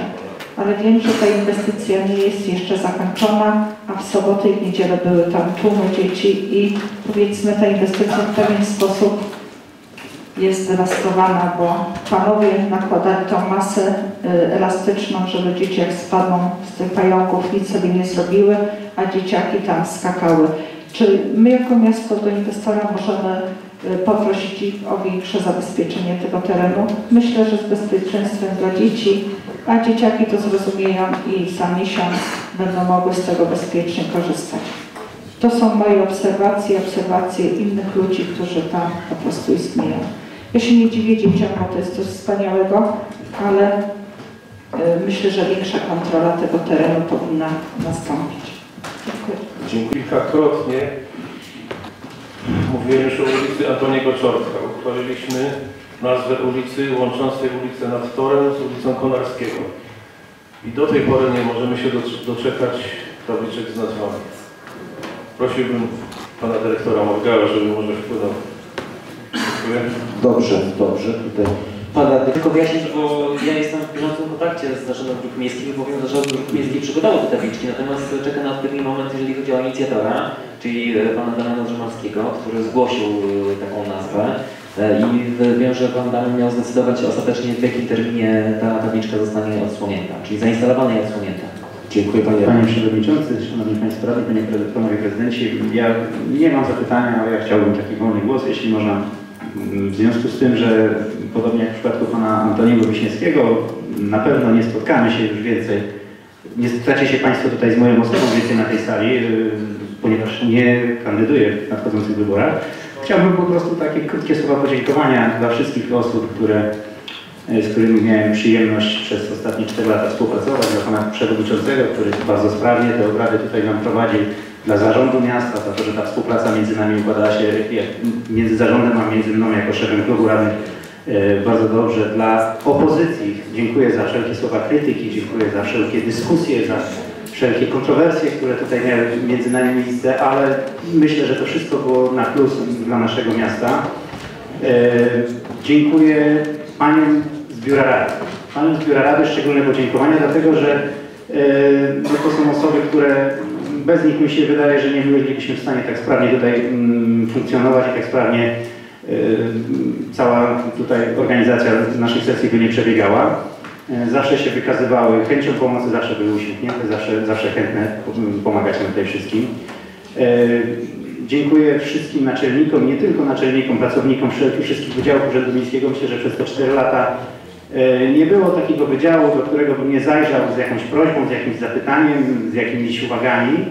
E, I ani razu przez te 4 lata nie spotkałem się z jakąś niechęcią, czy z jakąś odmową, czy, czy, czy z jakimiś takimi rzeczami, które, że ktoś by mi powiedział, że, że się nie da, bo nie. E, Z każdą sprawą, z każdą rzeczą, jaką się zwracałem, zawsze, zawsze mm, te odpowiedzi były takie, że no spróbujemy, zobaczymy. Jeśli jest to możliwe, pomożemy, spróbujemy to zrobić. I wielu osobom, wielu, wielu mieszkańcom naszego miasta dzięki temu udało się pomóc, wiele rzeczy udało się zrobić, wiele inwestycji takich drobnych, ale bardzo istotnych dla mieszkańców udało się również przeprowadzić. No i dziękuję moim radnym tutaj z klubu i, i radnym koalicyjnym, którzy przez te 4 lata ze mną jako szefem klubu musieli się no, męczyć, tak, że tak powiem, ale czuję się spełniony w tej roli, dlatego że, że znaczy niech tym jakby dowodem na to będzie to, że no, nie przegraliśmy żadnego głosowania przez te 4 lata. Co prawda raz był remis, raz był remis, w jednym głosowaniu był remis, ale przez 4 lata y, jako szef klubu wydaje mi się na tyle sprawnie to wszystko tutaj koordynowałem, że żadnego głosowania nie przegraliśmy, chociaż kilka uchwał zdjęliśmy, bo mieliśmy wewnętrznie tutaj, nie mieliśmy jednego zdania i te uchwały nie trafiły pod obrady albo po jakichś tam zmianach yy, trafiały. Dziękuję jeszcze raz wszystkim Państwu i nie wiem, dziękuję bardzo. Dziękuję bardzo. Pani Radna Nowak, proszę. To Panie Przewodniczący, Edyta Ogonowska już y, zadała to pytanie. Ja właśnie chciałam też na temat tego niezwykłego, prześlicznego, wyjątkowego placu zabaw w naszym pięknym parku. Mam nadzieję, że y, będzie na wiosnę kwitł i będzie cieszył oko wszystkich i wnuków, i dzieci, i babci, i dziadków, i również moich wnuków. Mój niedzielę odwiedził ten y, plac zabaw, chociaż y, y, nie można było tam wejść. Wiedział o tym, że nie może wejść, ale proszę sobie wyobrazić, że od dobrych dwóch tygodni dewastowany jest płot, który ma zabezpieczyć ten niezwykły, to niezwykłe miejsce dla dzieci. I wcale się nie dziwię, że tamte dzieciaki próbują te płoty prowizoryczne e, pokonać i z tego e, miejsca korzystać. Także w imieniu moim i Edyty i myślę, że przyszłych użytkowników bardzo proszę o naprawdę e, zabezpieczenie tego terenu, bo szkoda, bo to jest naprawdę wyjątkowe, niezwykłe e, miejsce dla dzieci. I drugie pytanie, ja wiem, że to nie od nas zależy, ale tytuł Pomnika Historii dla Spichrzy się należą, e, należy i wiem, że w Warszawie są poślizgi, że ta komisja pracuje dwa razy do roku, że y, tych tytułów y, jest co roku kilka i że Grudziądz y, cierpliwie będzie czekał na nadanie tego tytułu, ale mam nadzieję, że w 2015 roku, kiedy będzie już przepiękna Góra Zamkowa, ten tytuł Spichrze otrzymają, bo to będzie też kolejna niezwykła wizytówka naszego miasta. Dziękuję bardzo. Panie prezydencie, proszę. Też chciałbym bardzo, aby jak najszybciej oddany. Systematycznie prowadzimy rozmowy z wykonawcą, aby część tej inwestycji dokonał tak zwanych odbiorów częściowych. On y, czeka w tej chwili na wydanie tej ostatniej warstwy, to warstwa podbudowy elastyczna z takich biurek gumowych już jest wydana. W tej chwili lane są wzory tak zwanego FEDM-u, czyli kilku kolorach warstwy poszczególnych stref, tych dla tych najmniejszych, dla średnich dzieci, dla starszych. To w tej chwili jest wylewane. Parking z tyłu za tym placem zabaw jest praktycznie gotowy, można by częściowo go oddać i tam by mogli rodzice czy też dziadkowie pozostawiać swoje pojazdy, natomiast na tym parkingu jeszcze wykonawca trzyma część jakby elementów do wbudowania, choćby takich jak ławki czy kosze, a wzdłuż samego placu zabaw no, przebiega główna arteria tego parku, gdzie dowożone są materiały na inne części budowy. Natomiast jak tylko będzie to możliwe, wierzę w to, że to nastąpi w najbliższych e, dniach, może najbliższych parę tygodni, to jeszcze tej jesieni nasze pociechy z miasta będą mogły korzystać z tego, z tego placu zabaw, więc nie będzie to na wiosnę, jak to Pani Radna powiedziała, tylko jeszcze w listopadzie. I myślę, że to w pierwszej Jeżeli chodzi o pomnik historii, no, no cóż, no musimy czekać, tak, musimy czekać, e, lobbujemy cały czas poprzez naszych senatorów, poprzez e, parlamentarzystów, wszystko w rękach Ministerstwa Kultury, Dziedzictwa Narodowego i Pana Prezydenta. Należy po prostu cierpliwie czekać. Jak wspomniałem, tu na której sesji tych wniosków jest złożonych z całej Polski kilkadziesiąt, zaledwie w tych turach co, co pół roku może jeden czy dwa przechodzą pozytywną weryfikację. Dziękuję Panie Prezydencie. Pan Radny chciałbym podziękować naczelnikom wydziałów, chciałbym podziękować kierownikom wydziałów, chciałbym podziękować serdecznie wszystkim prezesom dyrektorom spółek. Chciałbym podziękować serdecznie wszystkim pracownikom Urzędu Miasta za współpracę, którą przez lata wykonaliśmy, gdyż ta współpraca dotyczyła naszych mieszkańców. Dziękuję w swoim imieniu, dziękuję serdecznie w imieniu mieszkańców. Dziękuję. Dziękuję bardzo. Pan Radny. Panie Prezydencie, Panie Przewodniczący, Szanowni Radni. Ale chciałbym też e, dotyczy poważnych uchybień jakościowych konstrukcji, konstrukcji stalowej w Mostkach w nawiasie Płatku przy klubie wioślarskim. I teraz co dalej? Spoliny, a dokładnie ich zdecydowana większość ma bardzo duże uchybienia od norm spawalniczych. Nawet w najniższej klasie akceptacji klasy D2G normę ISO 5817. Występuje tam bardzo dużo podtopień, przyklei, pęcherzy, asymetrii, zbyt szerokie spoiny czołowe. Konsekwencją niektórych wymienionych przeze mnie usterek jest, y, jest wypływająca rdza. Biorąc pod uwagę bezpieczeństwo i normy z tym związane, obiekt ten nie powinien być dopuszczony do użytku, ponieważ może grozić katastrofą budowlaną. Spoiny mogą popękać, most może ulec zawaleniu. Zważywszy na powagę sytuacji, proszę o szybkie działanie. Podpisał kontroler Michał Wiśniewski. I teraz proszę spojrzeć na zdjęcia. Proszę. Tak wygląda mostek. Proszę uprzejmie. To jest niebezpieczne. Tak. Są otwarte pęknięcia nawet. Bardzo przyjemnie. A szczególnie, szczególnie jest tu zdjęcie bardzo widoczne, gdzie jest cała spójna pęknięta. Proszę Panie Prezydencie. Dziękuję bardzo. Dziękuję bardzo. Pan Prezydencie, czy pisemnie? W procesie całym inwestycyjnym uczestniczyli szereg różnych inżynierów, fachowców, rzeczoznawców, inspektorzy nadzoru, powiatowy inspektor nadzoru budowlanego, który wydał pozwolenie na użytkowanie, a tutaj nagle, rozumiem, kampania wyborcza w szczycie, więc nagle takie rodzaj kwiatki jak rozbieranie torów na Legionów. Słyszeliśmy na początku sesji teraz zawalenie, zawalenie mostka. Czyli pan radny, rozumiem, że poszedł wiedzę, że ten mostek może się zawalić. Zapewne poszedł tą wiedzę parę dni temu czy parę tygodni i czekał, być może, że on się zawali, ktoś zginie się utopie. Nie, bo pan radny czekał na sesję, tak? Ma rewelacyjne informacje, ale przyjdzie i pokaże do kamery. Może to się zawali, bo jest sesja, może mi pokażą, w okresie kampanii wyborczej będę miał dodatkowe parę punktów. Więcej odpowiedzialności, panie radny. Ja gdybym miał taką wiedzę, to bym od razu pobiegł do prokuratury, do powiatowego inspektora nadzoru, nadzoru budowlanego, czy też do prezydenta, by zamknąć ten mostek, jeżeli on jest taki niebezpieczny. Ale pan radny woli czekać na sesję. Nie. Żeby wystąpić i się temat- pochwalić. na temat Marii- Bardzo proszę, nie przerywać, bo ja jeszcze nie skończyłem. Panie e, inżynierze Iwiński, bardzo bym prosił o komentarz w tej sprawie. Na to, na to pytanie lub podobne, wtedy bezimienne, zadał ten Pan dwa miesiące temu. Było to sprawdzone przez osoby o stosownych uprawnieniach, ci co budowali, inspektor nadzoru.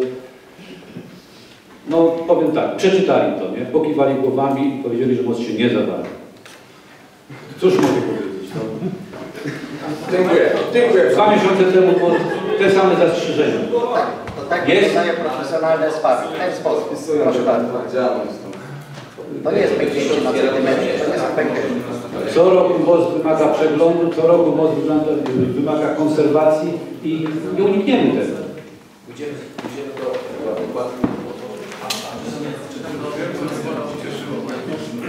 Dobrze.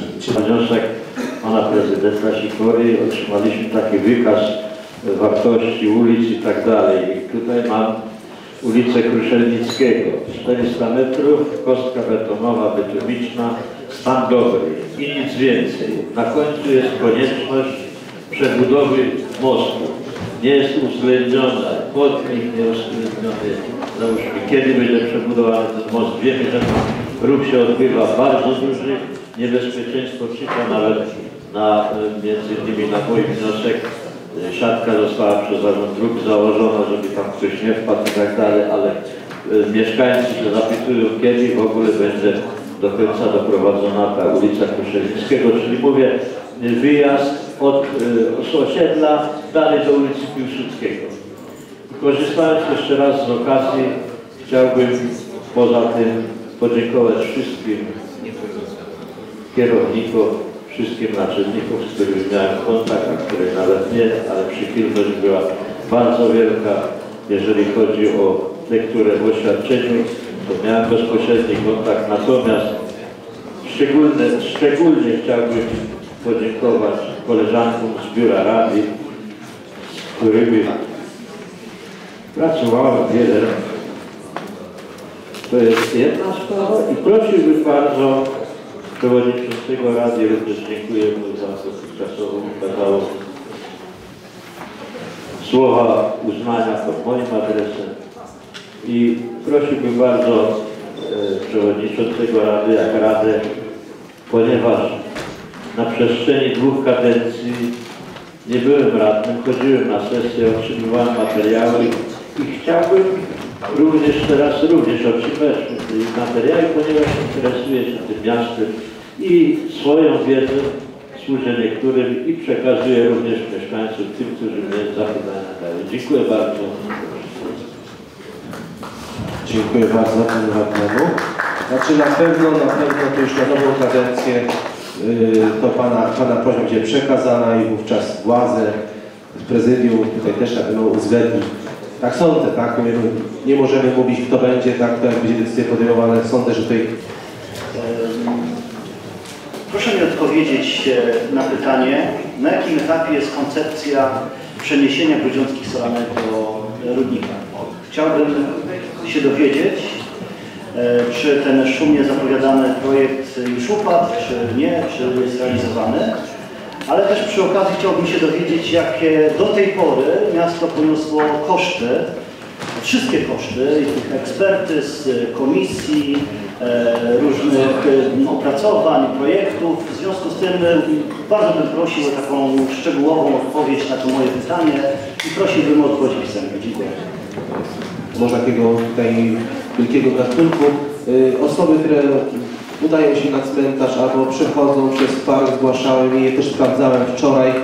Na wysokości przystanku na ulicy Cmentarnej w kierunku miasta jest y, drzewo, y, które podlegałoby w mojej ocenie wycięciu z uwagi na fakt, że ono po pierwsze jest spóźniałe, u samych podstaw już widać, można z jednej strony obejrzeć drugą stronę krajobrazu, no więc stwarza niebezpieczeństwo, że w przypadku jak, jakichś powiedzmy większych takich wiatrów czy jakichś innych takich powiedzmy sytuacji niebezpiecznych może to spowodować niebezpieczeństwo dla e, osób przechodzących, dochodzących do przystanku. To jest tak powiedzmy w linii prostej od dobrze teraz do pana Gawowskiego. Już e, każdemu Państwu życzę sukcesów zawodowych, osobistych, w szczególności dla osób, które startują w tych wyborach, żebyście Państwo uzyskali mandat społecznego zaufania i mogli po 16 listopada zasiąść e, konkretnie w ławach tutaj e, tej pięknej sali.